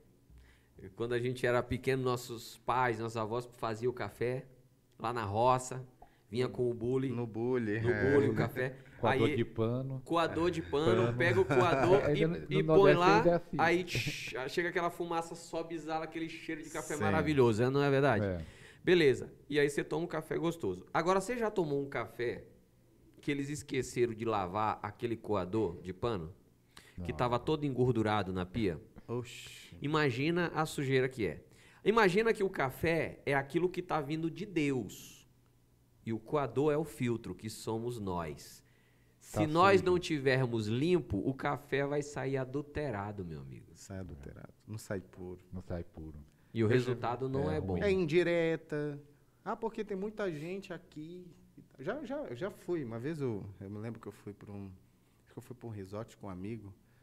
Aí, quando eu cheguei na igreja, aí estava tendo uma pregação e, e no meio da palavra o pastor né, deu, uma, deu um jeito de encaixar o meu passeio dentro, meu da, Deus. dentro da palavra. Ou seja, está tribulado. E, e, detalhe, eles usam a Bíblia para frasear a ideia que está na cabeça deles. Para validar, validar, entendeu? Tem muito isso, né? Tem. Ó, tem um, uma frase que o pessoal usa, que coach, treinadores, ele usa essa frase, queria saber disso, porque no meio evangélico parece até meio polêmica essa frase, assim. É, que quem não entende o sentido, eu entendi o sentido, que ele fala assim que você tem que se sentir, eu acho que até o Paulo Vieira também fala isso, alguns falam, se sentir merecedor. Certo. Se sentir merecedor, eu mereço estar aqui, eu mereço isso aqui. E às vezes, se nós falar isso para o povo pensa que é orgulho, você falar, eu mereço. É, o, o, no Brasil existe uma cultura distorcida em relação a. E aí eu falo assim: metade do. do, do imagina o mundo, né, o globo terrestre, tu, tu, aí tem a linha do Equador. Do Equador para baixo, todas as nações do Equador para baixo praticamente têm um problema sério em relação a merecimento. Do Equador para cima não tem isso. Então, por exemplo, tu chega para um americano, é muito comum tu conversar com um americano e ele falar de dinheiro. Ele dizer, cara, numa conversa, falar assim, cara, eu tô com 500 mil dólares lá e eu quero fazer um investimento. O que, que você me recomenda? É comum os caras falar Sim. sobre isso. É comum você perguntar para um americano, falar assim, cara, é, quem é a pessoa que você acha que é o melhor terapeuta? O cara vai dizer, se ele é terapeuta, vai dizer, eu. Ele vai dizer, eu sou, porque eu sou bom no que eu faço. E, Ou e tá tudo tu bem. ganhou, né? Por exemplo, quanto é, é, é, Ricardo, esse mês tu ganhou quanto? Tu, é. tu tem quanto na tua conta? Ah, tem tantos é, mil. É normal. É normal. No Brasil. Aqui já parece que é tabu falar. É, no Brasil, no Brasil é assim. Você pergunta, você, primeiro que se você perguntar para uma pessoa quanto você ganhou esse mês, ele vai se sentir ofendido. E aí ele vai pensar assim, o cara tá com inveja de mim, tá com olho gordo para as minhas coisas, educação, isso não se né? pergunta. Tem, tem essa questão. Aí você pergunta para a pessoa, Ou quem conhece alguma pessoa, ou então você diz para a pessoa, nossa, cara, você é muito bom no que você faz. A pessoa, não, eu não sou não, não sou bom não. E ela vai se jogar lá embaixo, se menosprezar a qualquer custo, achando que isso é ser humilde. E não é, isso daí não tem nada a ver com humildade. Sim, entende? Não tem nada a ver com humildade. Humildade não é eu pensar menos de mim. Humildade é eu pensar menos em mim. É diferente a coisa. Porque quando eu estou focado no meu propósito, eu estou pensando em mim, mas eu estou pensando em ajudar você. No meu propósito, eu estou pensando em ajudar você. Só que eu, no meu propósito, no meu propósito, eu com o pé no meu chamado, eu sou imbatível. E aí quando perguntam para mim, você é bom no que você faz, eu digo, eu sou. Entende? Então, existe essa Mas não questão. Tem medo, nem medo de os outros julgar. Ele é não, não tenho medo, não. Eu, eu faço, eu falo e dá prova que eu sou bom. eu vou provar. Se tiver uma pessoa que vai ser melhor do que eu ali, que possa me provar que é melhor do que eu, eu dou os parabéns para ela. Eu falo, realmente, hoje você é melhor que eu, mas eu vou correr atrás para ser melhor. E tá tudo bem, isso não tem nenhum problema quanto a isso. Então, as pessoas hoje em dia, elas não se sentem merecedores. Quer ver uma coisa? Essa aqui, eu já passo a palavra para você aqui. Mas isso aqui é, é, é, é de praxe do crente. Já viu o crente, principalmente o pentecostal, orando. Tu que está me assistindo, tu vai saber o que eu estou falando. crente orando, crente pentecostal orando para demonstrar, para convencer Deus que ele é humilde. Porque isso é uma oração tentando convencer Deus com coisas que Deus não conhece teu coração. Ele ora como? Deus, eu sou pior do que o cocô do cavalo do ladrão, eu não presto para nada, eu não sirvo para nada, Deus me abençoe. Olha a oração que ele faz. Tem muita gente assistindo que já fez essa oração. Eu acho que até. Você já fez essa oração? Você já fez essa oração? É, eu, se, se, eu, sou um lixo. Eu sou um lixo. Eu lembro de uma oração até hoje, um irmão falando: Eu sou aquele trapo de imundiça. Eu sou trapo de imundiça. Olha só o que ele está falando. Agora eu pergunto para você: Você o senhor pagaria um, um preço muito alto por algo que não vale nada? Não. Você pagaria? Não. Não. A Bíblia diz que Jesus pagou um alto preço pela minha vida, pela sua. Quem, ninguém paga um alto preço por algo que não vale nada. Se Jesus pagou um alto preço por mim, é porque eu tenho muito valor. Então, se eu tenho valor, eu não posso dizer, eu não posso menosprezar a criação divina. Eu sei, eu sei que diante de Deus, a soberania dele é eu sou pequeno diante dele. Mas aqui na terra eu sou muito valioso, eu tenho o meu valor. Então começa por aí. Então as pessoas elas não têm esse merecimento, elas não se sentem merecedoras. Aí tem a questão do ambiente, tudo que elas foram criadas, né? É, tudo do, do ambiente delas, as crenças que foram embutidas dentro dela. Aí quando ela vai, é, eu lembro que tinha no Natal é, a gente ia às vezes para umas festas de Natal, tinha árvore de Natal, eles colocavam um monte de presente lá embaixo da árvore. Aí na hora de. Aí as crianças podiam ir lá pegar um presente, escolher um presente. Minha avó falava assim: vai lá e pega o menor. Pega o menor. não pega o maior, não. Você não é, você não é metido, você não é né, olho grande, tem que pegar o menor. Aí eu sempre pegava o menor, pegava o pior. Sabe, mas, coisas. Mas com vontade de pegar o grande. Mas com vontade de pegar o grande. mas era o quê? Eu fui. Isso daí era coisa que estava sendo colocado em nós. Então você pergunta para a pessoa assim, ah, em que ponto você quer chegar? Não, não quero, não quero muita coisa, não, quero chegar. A, a, querendo dizer que isso é humildade. Não é. Não. Ela está quebrando um princípio de merecimento. Ela está entrando na crise da identidade, né? Ela está quebrando realmente. É, ela está ela tá desfazendo a imagem e semelhança. Até perguntar para o pastor Alex, que você disse que quebrou, não falou uma palavra maldição, mas quebrou aquele padrão da sua família e começou a prosperar. Você achou estranho? Vamos dizer, você achou normal? Quando começou a entrar dinheiro, começou a entrar prosperidade, você, como você se sentiu? Não, eu não tive essa crise que o Ricardo teve. eu, eu buguei, eu buguei os seis meses. Você não, não teve essa crise, não? Não tive, porque eu já tinha resolvido essa questão dentro de mim. Então, o que acontece? Você demorou seis meses? É... Seis meses, fiquei seis meses bugado. E, e foi uma luta, porque, assim, tipo, a, é, é, a gente fez um negócio e nesse negócio a gente ganhou muito dinheiro. Né? Eu nunca tinha ganho uma de, uma, de uma lapada só tanto, tanto dinheiro. E eu ganhei, e eu fiquei seis meses assim, eu falei, não, eu, eu não mereço Os isso. irmãos da África. Foi, foi, foi, foi, foi o diabo que, que fez isso para me desviar do propósito. Eu comecei a dar umas loucuras assim. Eu, eu, no caso é o seguinte, a minha, a minha imagem, a imagem que eu tenho de humildade é o seguinte, Ah, eu tô com uma sandália e um prego debaixo, eu sou humilde. Não, você é pobre, você é escasso. É. Entende? Humildade é um estado de espírito, é algo que está aqui dentro. Você pode ser um multimilionário, mas você cuida bem do próximo, você serve bem. Para mim é um comportamento, humildade. Agora tem gente que não tem nada, que anda comprar uma bicicleta e ele não fala mais com o outro. Entende? Então tem tudo isso. E a questão do merecimento é o seguinte: é, a gente vê a igreja, né, sistema religioso, ele trabalha muito para que a pessoa se sinta Zé Ninguém. E como o Ricardo colocou, foi muito forte aqui, porque Jesus dá a vida. E quem era Jesus? A gente vê uma, um episódio da mulher que foi pegando um ato de adultério. Né? Nem eu te condeno. Cadê os teus acusadores? Nem eu. E quem era ele? Quem era Jesus? Era o próprio Deus na Deus. terra. Nem eu te condeno, por quê? Para eles tu não vale, mas para mim tu vale. Para mim você é preciosa. Então eu acredito o seguinte: é, quanto mais rato e barata você se sente, mais a glória de Deus desaparece. Desaparece. Jesus disse que nós somos a luz do mundo, um farol que brilha à noite, como é letra de música. Então, se eu me coloco lá embaixo, usando aquele texto do, do João Batista mal interpretado, que, ah, que o João Batista ele disse que importa que ele cresça e eu diminua.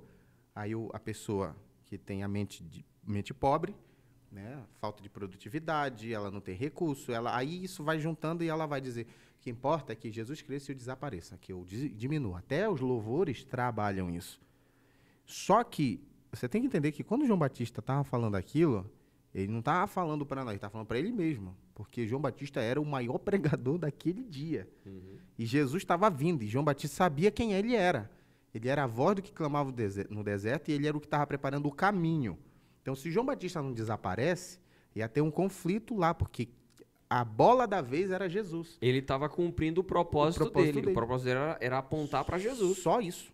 E ele estava, não, importa que ele cresça e eu diminua, ou seja, o meu trabalho aqui acabou. Porque Jesus, inclusive, quando ele está preso, ele manda os discípulos dele perguntarem: esse é o Messias ou eu tenho que esperar realmente um outro? Se foi, me avise se ele é o Messias. Então os discípulos vão lá e perguntam se ele era o Messias. E traz a mensagem para João Batista. Então, era o problema de João Batista. Era ele que tinha que diminuir. Eu não, é o contrário. Eu tenho que crescer. Porque se eu ficar, se o reino de Deus está dentro do Ricardo, e o Ricardo sente uma barata e fica lá no último, não, eu quero ser o menor da casa do papai, igual Davi. Só que Davi não era menor porque Deus colocou ele. Davi era menor que os irmãos desprezavam. Que, onde Deus colocou Davi? Quem foi Davi? Foi ungido a rei. Então, o propósito de Deus não é que o Ricardo desapareça, é que ele apareça, porque a glória de Deus aparece conforme o Ricardo aparece. Eu sempre dou um exemplo. O João da padaria. Um homem humilde, senta lá no último banco e tem um chamado. O, homem, o João da padaria pega o Instagram dele, grava um vídeo missionário, convidando as pessoas para conhecer Jesus.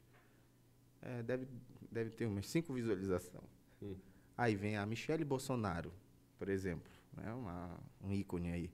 Ela grava. A Michele Bolsonaro não é o João da padaria, né, o Zé da padaria. Ela, ela tem uma baita audiência. Ela tem muitos seguidores, milhões de seguidores. A diferença de impacto é muito grande. O João da padaria, o Zé da padaria gravando um vídeo e ela. Então, quanto mais alto você está, mais Deus aparece. Exatamente. Então você não pode se sentir inferior porque você está apagando a glória de Deus. O brilho, a essência, a mensagem que Deus quer que você transmita para o mundo, debaixo de uma mesa, né? O, o- o candeeiro não pode ficar debaixo da É mesa. colocado em cima. É colocado em cima. E é interessante, o pastor Alex e o pastor Ricardo, ouvi uma vez um pastor falando assim que as bênçãos de Deus que ele dá no material é para o povo ver. É, vamos dizer, as pessoas não conseguem ver Deus, assim, conseguem ver pela atitude, coisa e tal, mas só que as pessoas vê, do mundo vê mais quando você é abençoado, ué, tem alguma coisa está acontecendo. Sim. É. Ah, Só- e assim, é, sobre essa questão do merecimento, isso é tão sério que uma pessoa que ela não tem é, isso resolvido, quando ela não se sente merecedora, nem Deus querendo abençoar ela, ela, ela impede com ela que a trava tudo. chegue. Ela trava tudo. E ó, e isso que a gente está falando não é consciente não, porque tem muita gente dizendo, mas eu não tenho esse problema. Não é consciente. Não, é uma coisa que transcende a consciência, é inconsciente. Por isso que a Bíblia diz assim, ó, é, se você tem que cuidar de alguma coisa, cuide do seu coração, porque lá de lá provém todas as coisas, Provérbios, é. as coisas boas e ruins. Só que quando a Bíblia foi escrita, eles acreditavam que pensamentos, emoções senti- e sentimentos se geravam no coração, nesse órgão de carne aqui, vai tu tu tu tu tu. tu. Só que de 50 anos atrás para cá, se você vê as novas traduções da Bíblia, foi mudado esse texto do coração, porque o conceito não era do coração, é, era da mente. Da mente. As próximas traduções, assim, se tem que cuidar de alguma coisa, cuide da sua mente, porque lá provém, de lá provém todas as coisas. Entende? Então, se a pessoa ela não, não tem isso gravado inconscientemente mesmo é, nela, ela, ela continua bloqueando as bênçãos de Deus chegar até ela. Então tem gente que assim, você pode pôr a mão, você pode orar, expulsar capeta, abençoar, profetizar, fazer campanha, fazer o que for, ela continua não desbloqueando, não cresce, não Porque é um vai. comportamento, né? Um padrão. A gente vai ver o quê? É fofo e é nobre ser pobre. Porque a gente olha Jesus que não tinha onde reclinar a cabeça. Coitado.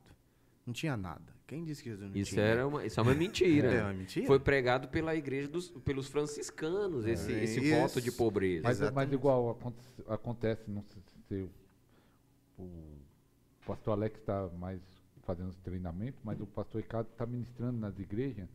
Aí se o pastor Ricardo ou algum pastor chega com um carrão, dependendo da igreja, a outra igreja que é normal, normal, mas dependendo de outra igreja já vai olhar assim com. Há, há um preconceito. Ah, um Há um, preconceito. há um Ah, sim, preconceito. sim, não sei sim.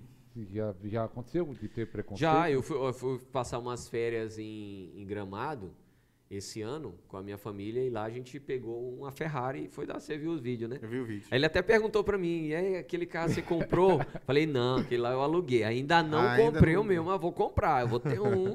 Eu até É, falei pro não, pastor. Se chegar na igreja com Ferrari, pronto. Eu, Então, olhei, eu aí? olhei, eu olhei, né, no Instagram e disse, nossa, o Ricardo comprou uma Ferrari. Desgraçado.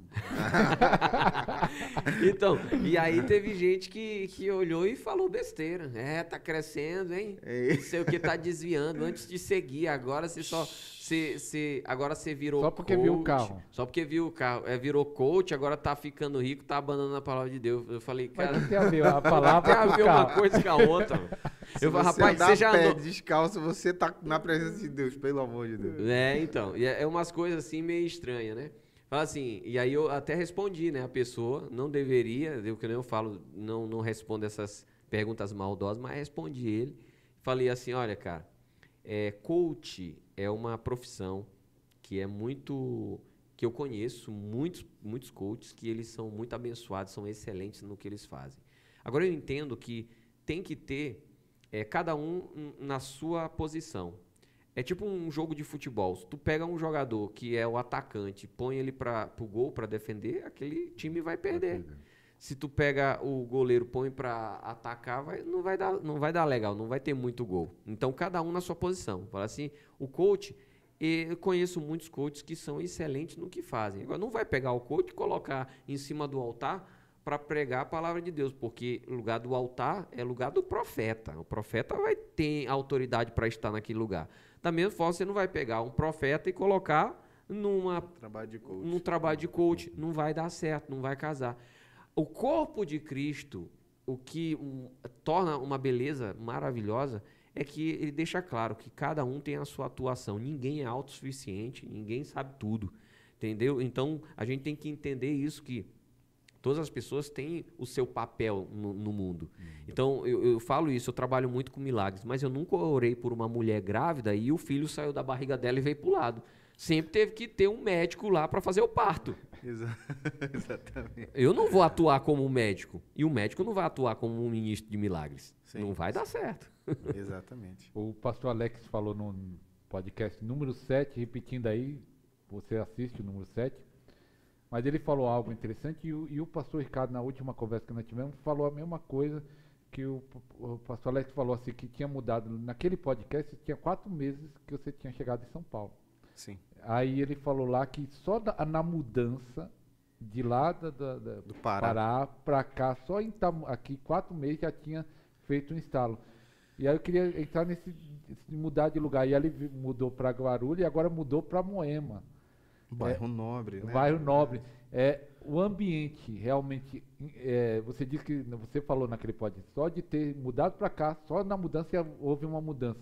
Por que traz essa mudança? O local, o ambiente, a cidade, Vários as motivos. pessoas.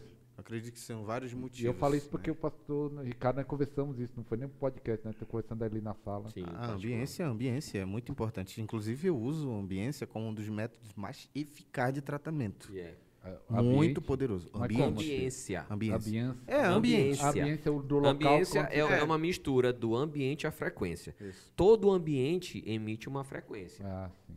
Entende? Aí nesse treinamento você faz. Eu uso muito, por exemplo, você tá. Ah, eu tô numa situação aqui delicada, eu. eu meu marido me traiu e eu tô, tô desesperado. Um, um dos principais técnicas que eu vou usar é simples. Você vai começar a frequentar ambiente assim, assim, assim. Porque esses ambientes Você vão trabalhar. É, como ele falou, energia e, e também tua mente ela é reprogramada. Então, eu saí de Belém do Pará Só, só, só entrar num só lugar. de entrar no ambiente. Só Eu- entrar. eu saí de Belém do Pará e vim para São Paulo. Só de eu chegar em São Paulo, o custo de vida ele é maior. Então, naturalmente, eu tenho que Você é obrigado, a forçado forçar. a Exato. se reorganizar. Eu saí agora daqui de Guarulhos e fui para Moema. Porque não conhece, Zona Sul, um dos bairros mais nobres ali daquela região. De São Paulo, acho É, que é o aí eu- a minha, meu custo de vida aumentou extremamente. Mas agora eu estou em outra frequência, em outro ambiente.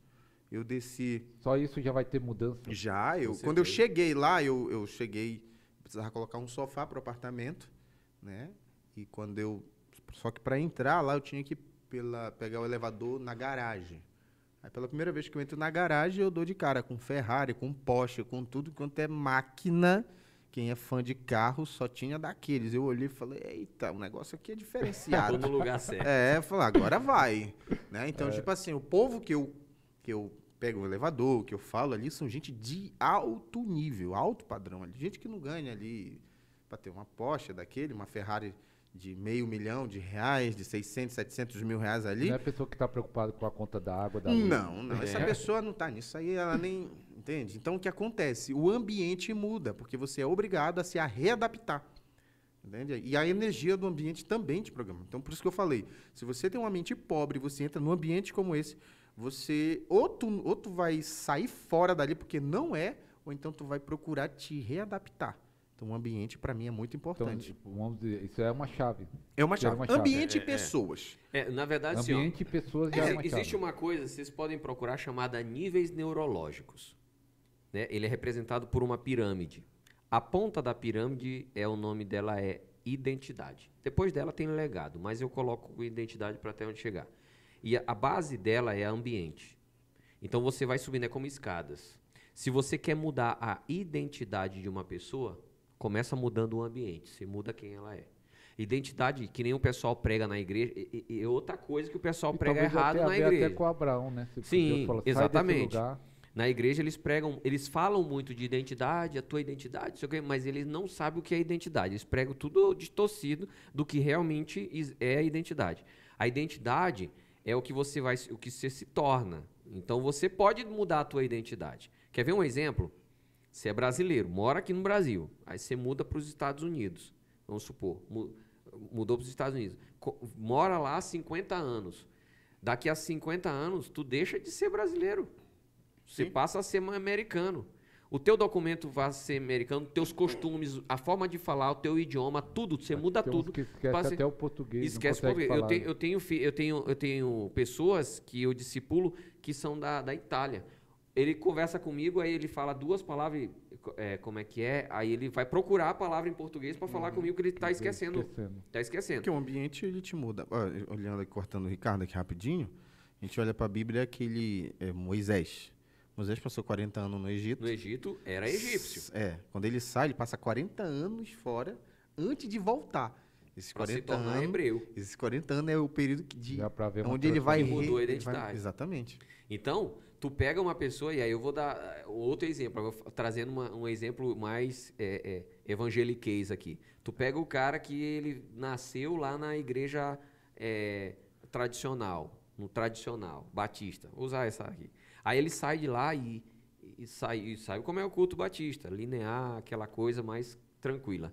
Aí ele entra num pentecostal. Quando ele entra, já vê aquela barulhada, o, o som alto, o povo pulando, girando. Rodando. Ele começa ali, aquilo ali vai influenciando ele. Daqui a pouco ele muda a, a- Talvez no começo há uma resistência. ah, não, depois- sempre há. Porque, porque se você não é daquele ambiente, quando você tem o primeiro contato, você vai sentir uma peça do quebra-cabeça errado.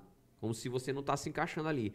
Quer ver? E aí, né, explicando aqui, aí você entra, aí você muda a tua capacidade, muda teu comportamento, você vai mudando essas coisas, daqui a pouco você é um pentecostal, virou pentecostal. Sim. Com- O tempo vai, tra- vai transformar isso em você. Quando você não é da- de um ambiente, quando você entra, você se sente como não é daquele lugar. Já aconteceu de você ir num lugar muito chique, quando você chega, você fica todo sem jeito lá? Eu fiquei travado. Eu fui visitar um restaurante aqui em São Paulo. Logo cheguei, comecei a ganhar um dinheirinho, como eu falei, né? Vindo parar pra cá. E logo nos primeiros meses comecei a ganhar um dinheirinho. E eu olhei e falei, quer saber? Vou num restaurante chique aqui. Até então, eu era acostumado a ir em restaurante onde tu chama o garçom. Aqui. né? Eu cheguei, eu- eu- a pessoa foi me receber na porta. Eu já estava pisando num, num chão diferenciado. Ele puxou a cadeira para Nunca ninguém tinha puxado. Quando o cara puxou a cadeira que eu sentei, eu travei. Falei, que negócio é esse? É diferente. Pronto, aí eu não- já não conseguia falar direito, já É, dava gague- gaguejava, já gaguejava. falava pra dentro, assim. Já- é, o que é. você falou? O cara explicando um monte de prato com língua, com língua italiana. Isso aqui é um molho não sei do que e tal. E eu é, só concordo. "É, pode ser isso aí mesmo. Né? E, e acostumado a olhar o lado do cardápio, o lado do preço. Né? Então, ou seja, eu estava programado. O Ricardo falando é a mesma coisa que vir do Maranhão para São Paulo no inverno aqui em São Paulo. É. Que o frio, Frio. Ou seja, ambiente leva um tempo para te readaptar. adaptar. Ou seja, o ambiente ele te transforma. Se você antes tinha uma amizade na, na bagaceira e você agora vem para a igreja, por exemplo, você vai ter uma outra amizade. Então, esse ambiente aqui, se você for resistente, você e, e ser perseverante, ser disciplinado, seguir a regra, tu muda. Qualquer ser humano muda. É. Não importa. Não importa. Então a chave é essa, ambiente. É, ambiente. Eu, eu, eu- eu morava em um lugar, era considerado periferia. Era considerado favela. Favela. Só que o pessoal lá não, não, que não é favela, não tem nome de favela, tem nome de bairro, então tá bom. Mas era uma favela. o negócio lá era feio, complicado. E a gente morava lá e era aquela coisa, vamos comprar 10 pãezinhos, levava dois reais, comprava 10 pãezinhos. Né? Eu comprei um É, hoje. Levava, não, é assim, levava 10 reais, Ah. você comprava o pãozinho, a margarina, ainda sobrava troco. Aí vinha. Aí quando a gente mudou para Guarulhos, a gente mudou para um bairro que é considerado bairro nobre aqui em Guarulhos, né? Não vou falar, senão o pessoal vai atrás me procurar. Né? sequestrar. É, aí a gente mudou. Aí no primeiro dia, a primeira noite que a gente dormiu naquele, na- no apartamento que a gente comprou, aí minha esposa não dormiu. Minha esposa passou a noite toda. Minha esposa levou uns três ou quatro meses para se adaptar a, a um novo apartamento. Ela teve que fazer terapia.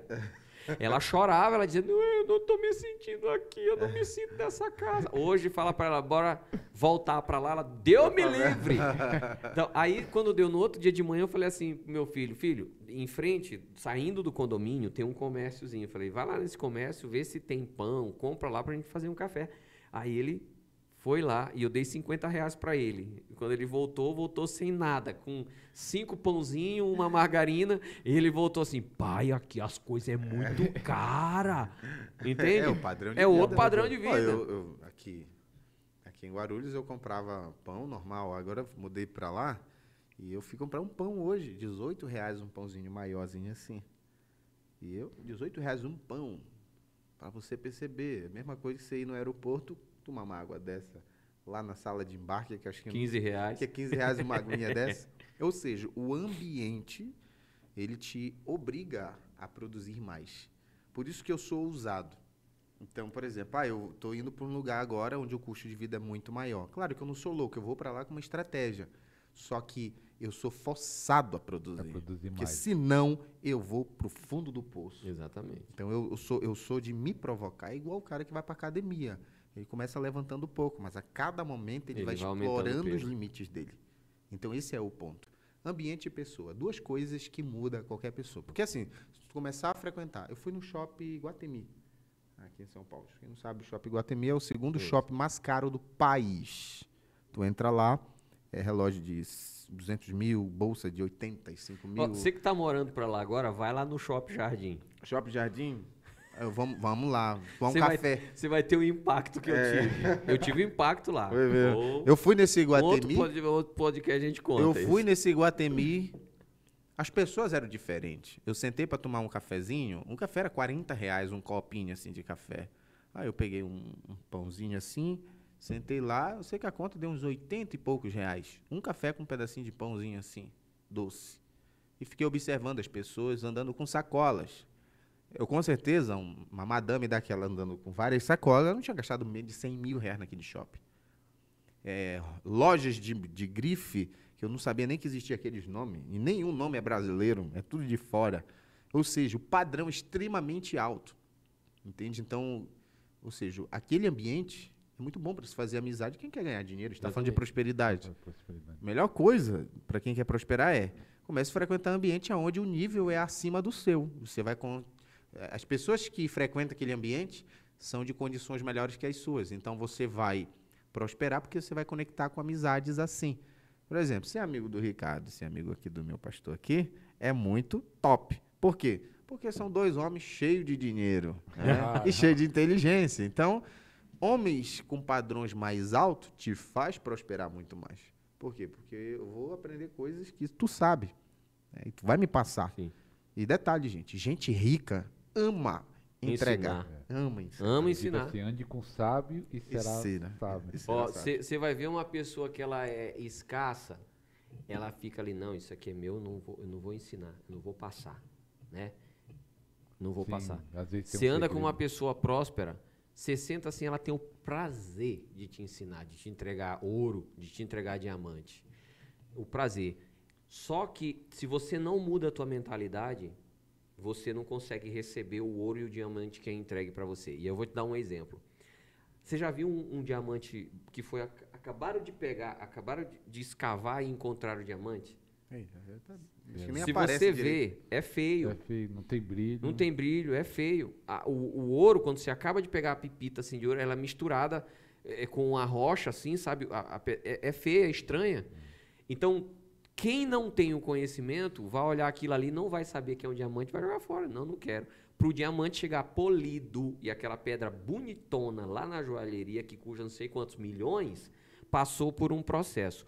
Quando você faz uma conexão com uma pessoa próspera e senta para conversar e ela começa a te entregar, aquilo que ela está te entregando já é o diamante polido. E aí é que está a, a- a grande sacada. Por isso que é importante a gente se relacionar com pessoas. É, e aí, quando eu falo de prosperidade, estou falando de pessoas produtivas. Sim. tá? Aquelas que estão produzindo sempre. Porque é muito difícil você sentar com uma pessoa numa mesa, uma pessoa que produz de verdade, é, que você senta na mesa que ela vai ficar falando besteira.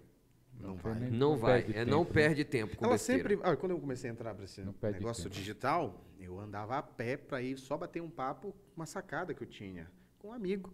Né? Falei, cara, eu vim aqui para te falar de gatilho mental, escassez, eu vim descobrir agora o que significa, queria conversar.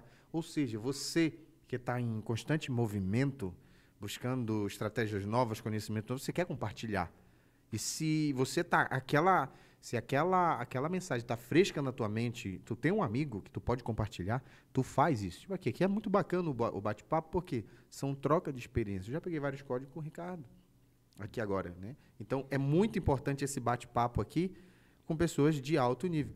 Ninguém vai prosperar se não tiver conectado com gente numa frequência além da sua. E Tem uma frase que eu falo, é assim, ó. É, ninguém chega a lugar nenhum sozinho. Mas a gente também não vai muito longe com gente errada. Não vai mesmo. Né? Então, assim, você precisa de pessoas. Até para dar errado na vida, você precisa do outro. Exatamente. Ó, você que está assistindo, ó, foi liberado várias chaves.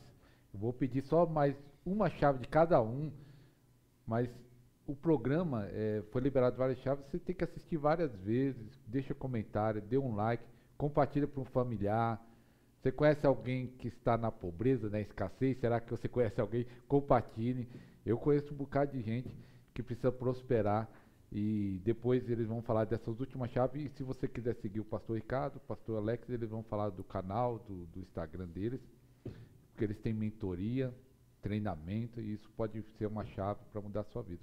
E pode ser não. Tem milhares de alunos que já têm sido mudados, transformados com as suas mentorias. Então, falar assim, as últimas chaves aí, que não foi falado ainda, né? Que foi falado várias. Uhum. Pastor Alex, que você lembra assim, ó, uma chave para prosperar, pastor Ricardo falou, isso aqui é boa, que não foi falado, que não foi falado ainda. Uma chave para você prosperar. Pare de correr atrás de dinheiro e corra atrás de pessoas com problemas. Dê um jeito de criar não, tem um... Tem gente que foge de pessoas que é, Não pode. Se você quiser ficar rico, você tem que correr atrás de pessoas com problemas. Toda pessoa que vai prosperar, ele, é um, ele aprendeu a ser um resolvedor de problemas. De problemas. Aí você cria um produto, uma técnica, um método, um remédio, uma, um, sei lá, um chá, alguma coisa que resolva aquele problema que você identificou. E vende. E dependendo do, do problema, pode estar tá doendo muito, quanto mais a, é, mais no fundo do poço a pessoa está, mais ela dá um jeito de comprar de você. Se você detecta problema em pessoas, não interessa, todo ser humano tem alguma coisa para resolver na vida. Você cria uma solução para aquilo e você vende. E detalhe, gente, se você não gosta de vender, você vai ficar pobre, porque tudo na vida é venda. Então, venda, é, ofereça algo e, e, uma das coisas que vai levar você, se você não tem ideia, siga o Ricardo, me siga lá no meu Instagram, Alex Santo Oficial 12. Eu faço live todo dia ensinando as pessoas a como melhorar essa questão dessa vida financeira. E você é. falou que se não vender, vai ficar pobre. Então pode ser uma chave vender, né? Tem que vender. Se tu não vende um produto, tu tem que se vender. Por exemplo, você faz um currículo, você está se vendendo. A pessoa, ah, mas me vender não é algo ruim, gente. Você tem que saber convencer as pessoas. Então, se você quer prosperar, você tem que ser bom em oferecer alguma coisa. E se não sabe, você vai me seguir no Instagram e eu vou te dar um treinamento lá chamado FT, Formando Treinadores. Lá você vai aprender a como ganhar dinheiro pela internet usando só o seu celular. Pronto, é vendi meu peixe. É isso aí. o, é, é, o, que eu, o que eu falo assim, eu vendi o jabá. O jabá. Fiz o jabá. É, o que acontece? Eu, eu, eu reitero a mesma palavra aí, né, a mesma chave que o pastor Alex falou. Tem uma história que eu gosto muito, não sei se é verdade, que eles falam do Tramontina. Conhece a história? Tramontina. Como o, que faz facas, ah, Tramontina, sim, Tramontina e tal. Como começou aquele negócio? Ele morava numa cidadezinha interior muito distante da, da da, do centro né, da, da, cidade, era interiorzinho. E, e não tinha nada. E aí o pessoal começou a chegar, um dia quebrou um carro lá e tal, cara, cara, eu preciso de um macaco para trocar a roda. Cara, cara, eu não tenho, mas eu sei quem tem. Aquele cara lá em cima, lá que mora lá na, ali na, na colina ali, ele tem. Hein? Os caras subiram lá. Pode me prestar o um macaco? Posso. Aí, custa, eu não, eu te alugo. Tanto. Aí o cara foi, alugou, ele foi lá arrumar a roda, depois subiu lá para devolver. Falou, cara, ao invés de devolver, me vende esse macaco. Ele falou, te vendo, custa tanto. Falou, poxa, mas lá na cidade é metade do preço. Ele, pois é, mas eu vou ter que ir lá comprar outro para mim, então é tanto. Aí vendeu para ele. E aí ele foi lá comprou outro. Aí direto chegava a gente na casa dele pedindo uma ferramenta. Como era interior, sempre eles precisavam de um serrote, de uma chave de fenda, um martelo. E ele começou. E assim ele viu a necessidade que o povo tinha e ele montou a primeira lojinha dele né, de ferramentas, que é o, Tramontina. Foi assim que surgiu, né? Dizem que foi assim. Vendo uma então, necessidade. Uma necessidade. Então, o que eu sempre digo, quer começar, e aí eu estou falando de prosperidade financeira voltada para o negócio. Negócio. Primeira coisa, Tira da tua cabeça que trabalhar para o outro é o sinal de prosperidade. Tira da tua cabeça. Se você quiser prosperar de verdade, você vai ter que empreender. Ponto. E empreender é o quê? É você descobrir uma necessidade, ou seja, descobrir um problema que todo mundo tem, é, encontrar a solução desse problema e a terceira, né, o terceiro pilar disso é aprender a vender. Porque pouco importa se você tem a solução para um problema se Não ninguém sabe, sabe que, o, que, que a solução existe. E, e, ah, mas eu não gosto. O pessoal tem mania de dizer, eu não gosto de vender, não é a minha linha vender. Fique, você se vende o tempo todo. Quer ver um exemplo? Se você é casado, você teve que conquistar a tua esposa, você se vendeu para ela. Você teve que convencer ela que você era boa pessoa, para ela uma cair na tua bonita, lábia. olha pra mim, eu vou te dar um futuro. É. Quando você vai fazer uma entrevista de emprego, você está fazendo o quê? Vendendo, se vendendo para, para, para o entrevistador que você é uma pessoa boa, para ele comprar a tua ideia. Então, a todo momento, a gente está utilizando da ferramenta da venda. Então, você, então, recapitulando, descubra um problema, encontre uma solução para esse problema e aprenda a vender essa solução. Ponto. Perfeito. Esses três passos, se você seguir na risca, você vai prosperar financeiramente. Você abre um negócio e prospera financeiramente muito e muito mesmo. E é isso. Qual, qual é a sua rede, pastor Ricardo? Então, eu tenho o é, ricardocosta.mentor, ricardocosta.mentor, que é o, o- o Instagram, e temos o canal no YouTube também, que é o Ricardo Costa Pastor. Falando uma coisa, fazendo o jabá também, Manda lá. é, em 2024, nós vamos começar um, um trabalho muito forte voltado para ajudar pessoas a ganhar dinheiro. Então, ajudar pessoas a ganhar dinheiro. Mas é o quê? Uma mentoria? Va- va- Vai, ser desde mentorias a cursos. E a gente vai trabalhar 2024 muito forte nisso. Esse aí, pastor Ricardo, até falando nisso, o que nós, grande necessidade, você deve saber disso, e também entre em contato com o Alex, na igreja, se perguntar, meu contato é mais com a igreja, né? Mas, assim, mas se você pergunta o grande povo de Deus, a necessidade é nessa área de dinheiro. Ganhar dinheiro, Ganhar é, dinheiro. prosperar, exatamente. Então a gente, eu estou com um projeto muito intenso para 2024, de 2024, que é fazer o pessoal ganhar dinheiro, prosperar, de verdade. É assim, pegar na mão, dizer, fazer ela, ela encontrar o problema, ela encontrar a solução para o problema. até 2024. Vai ter que esperar. E por incrível que pareça, a inauguração disso tudo vai ser um produto que a gente vai fazer junto, né? Ou- Tá agendado já para fevereiro. Fevereiro. Vocês vão saber mais para frente. Então, segue a gente Não aí. dá para lançar em dezembro? não? Pois é. A gente, não, a gente vai começar a anunciar já em dezembro. É, a gente vai começar a anunciar em dezembro para já lançar em, em fevereiro. A gente já lança aí.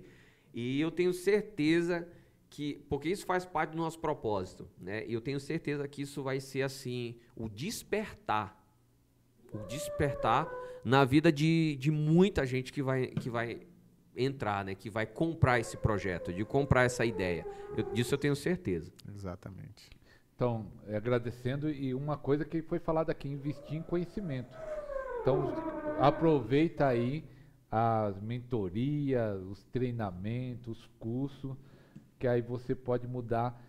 Porque foi falar de andar junto, e eu vi uma vez falando isso. Às vezes você não tem como andar junto com pessoa próspera para aumentar o seu nível, mas quando você entra numa mentoria, você está andando junto. Com certeza. Com certeza. As primeiras pessoas com quem eu me conectei não foram presenciais, Foram online. foram online. Online. Exatamente. Então, Quando você começa a seguir, não, né? você começa a seguir um, começa a seguir a gente, você começa a estudar, a gente vai passar para você treinamentos e cursos, mentoria, e é um resumo de 15 anos, né? Um resumo de 15 anos da 15 nossa anos de- vida. De, treinamento. que De treinamento, de, coisas que a gente lutou aí e estamos te dando. Ou seja, tu está encurtando 15 anos de batalha. Então é, é muito inteligente seguir quem já deu certo. Isso é muito importante. Que deu certo. E quem está continuando dando certo. Então agradeço pastor Alex, pastor Ricardo, por esse programa. Quiser deixar uma palavra final, nós estamos encerrando, mas foi uma benção. Foi liberado muitas chaves aqui. Exatamente. A última Muita palavra é: nos siga nas redes sociais. Temos projetos juntos aqui. Com certeza você vai, você que segue o Ricardo Costa, você vai vai ouvir lá os negócios muito top que vai vir, sobrenatural e muito lucrativo também, né? Deus abençoe. Quero lhe agradecer, meu pastor, pelo convite e até a próxima, se Deus quiser. Amém. É isso aí. E a gente, você que está nos assistindo, é, a gente espera você em um dos nossos treinamentos, seja presencial, seja online, ou seja nas nossas lives abertas.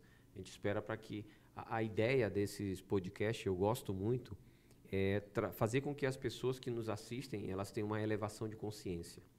Porque se ela não tiver essa transformação na mente dela, ela continua exatamente no lugar que está. Se você Exatamente. chegou até aqui e assistiu tudo até aqui, foram acho que mais de duas horas, né? duas horas, sei lá. Vai dar quase duas. Quase duas horas de. de hã? Uma hora e cinquenta de live.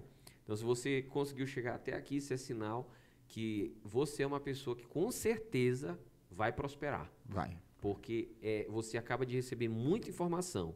E agora você só precisa transformar essa informação em conhecimento E dinheiro. E dinheiro. Porque quando transforma em conhecimento, o dinheiro vem. Ele né? vem. Então é isso. É muito bom estar com, contigo, transmitindo esse- essa informação para vocês. E a gente espera vocês em um dos nossos programas. Deus abençoe. Amém. Até a próxima, que Deus quiser.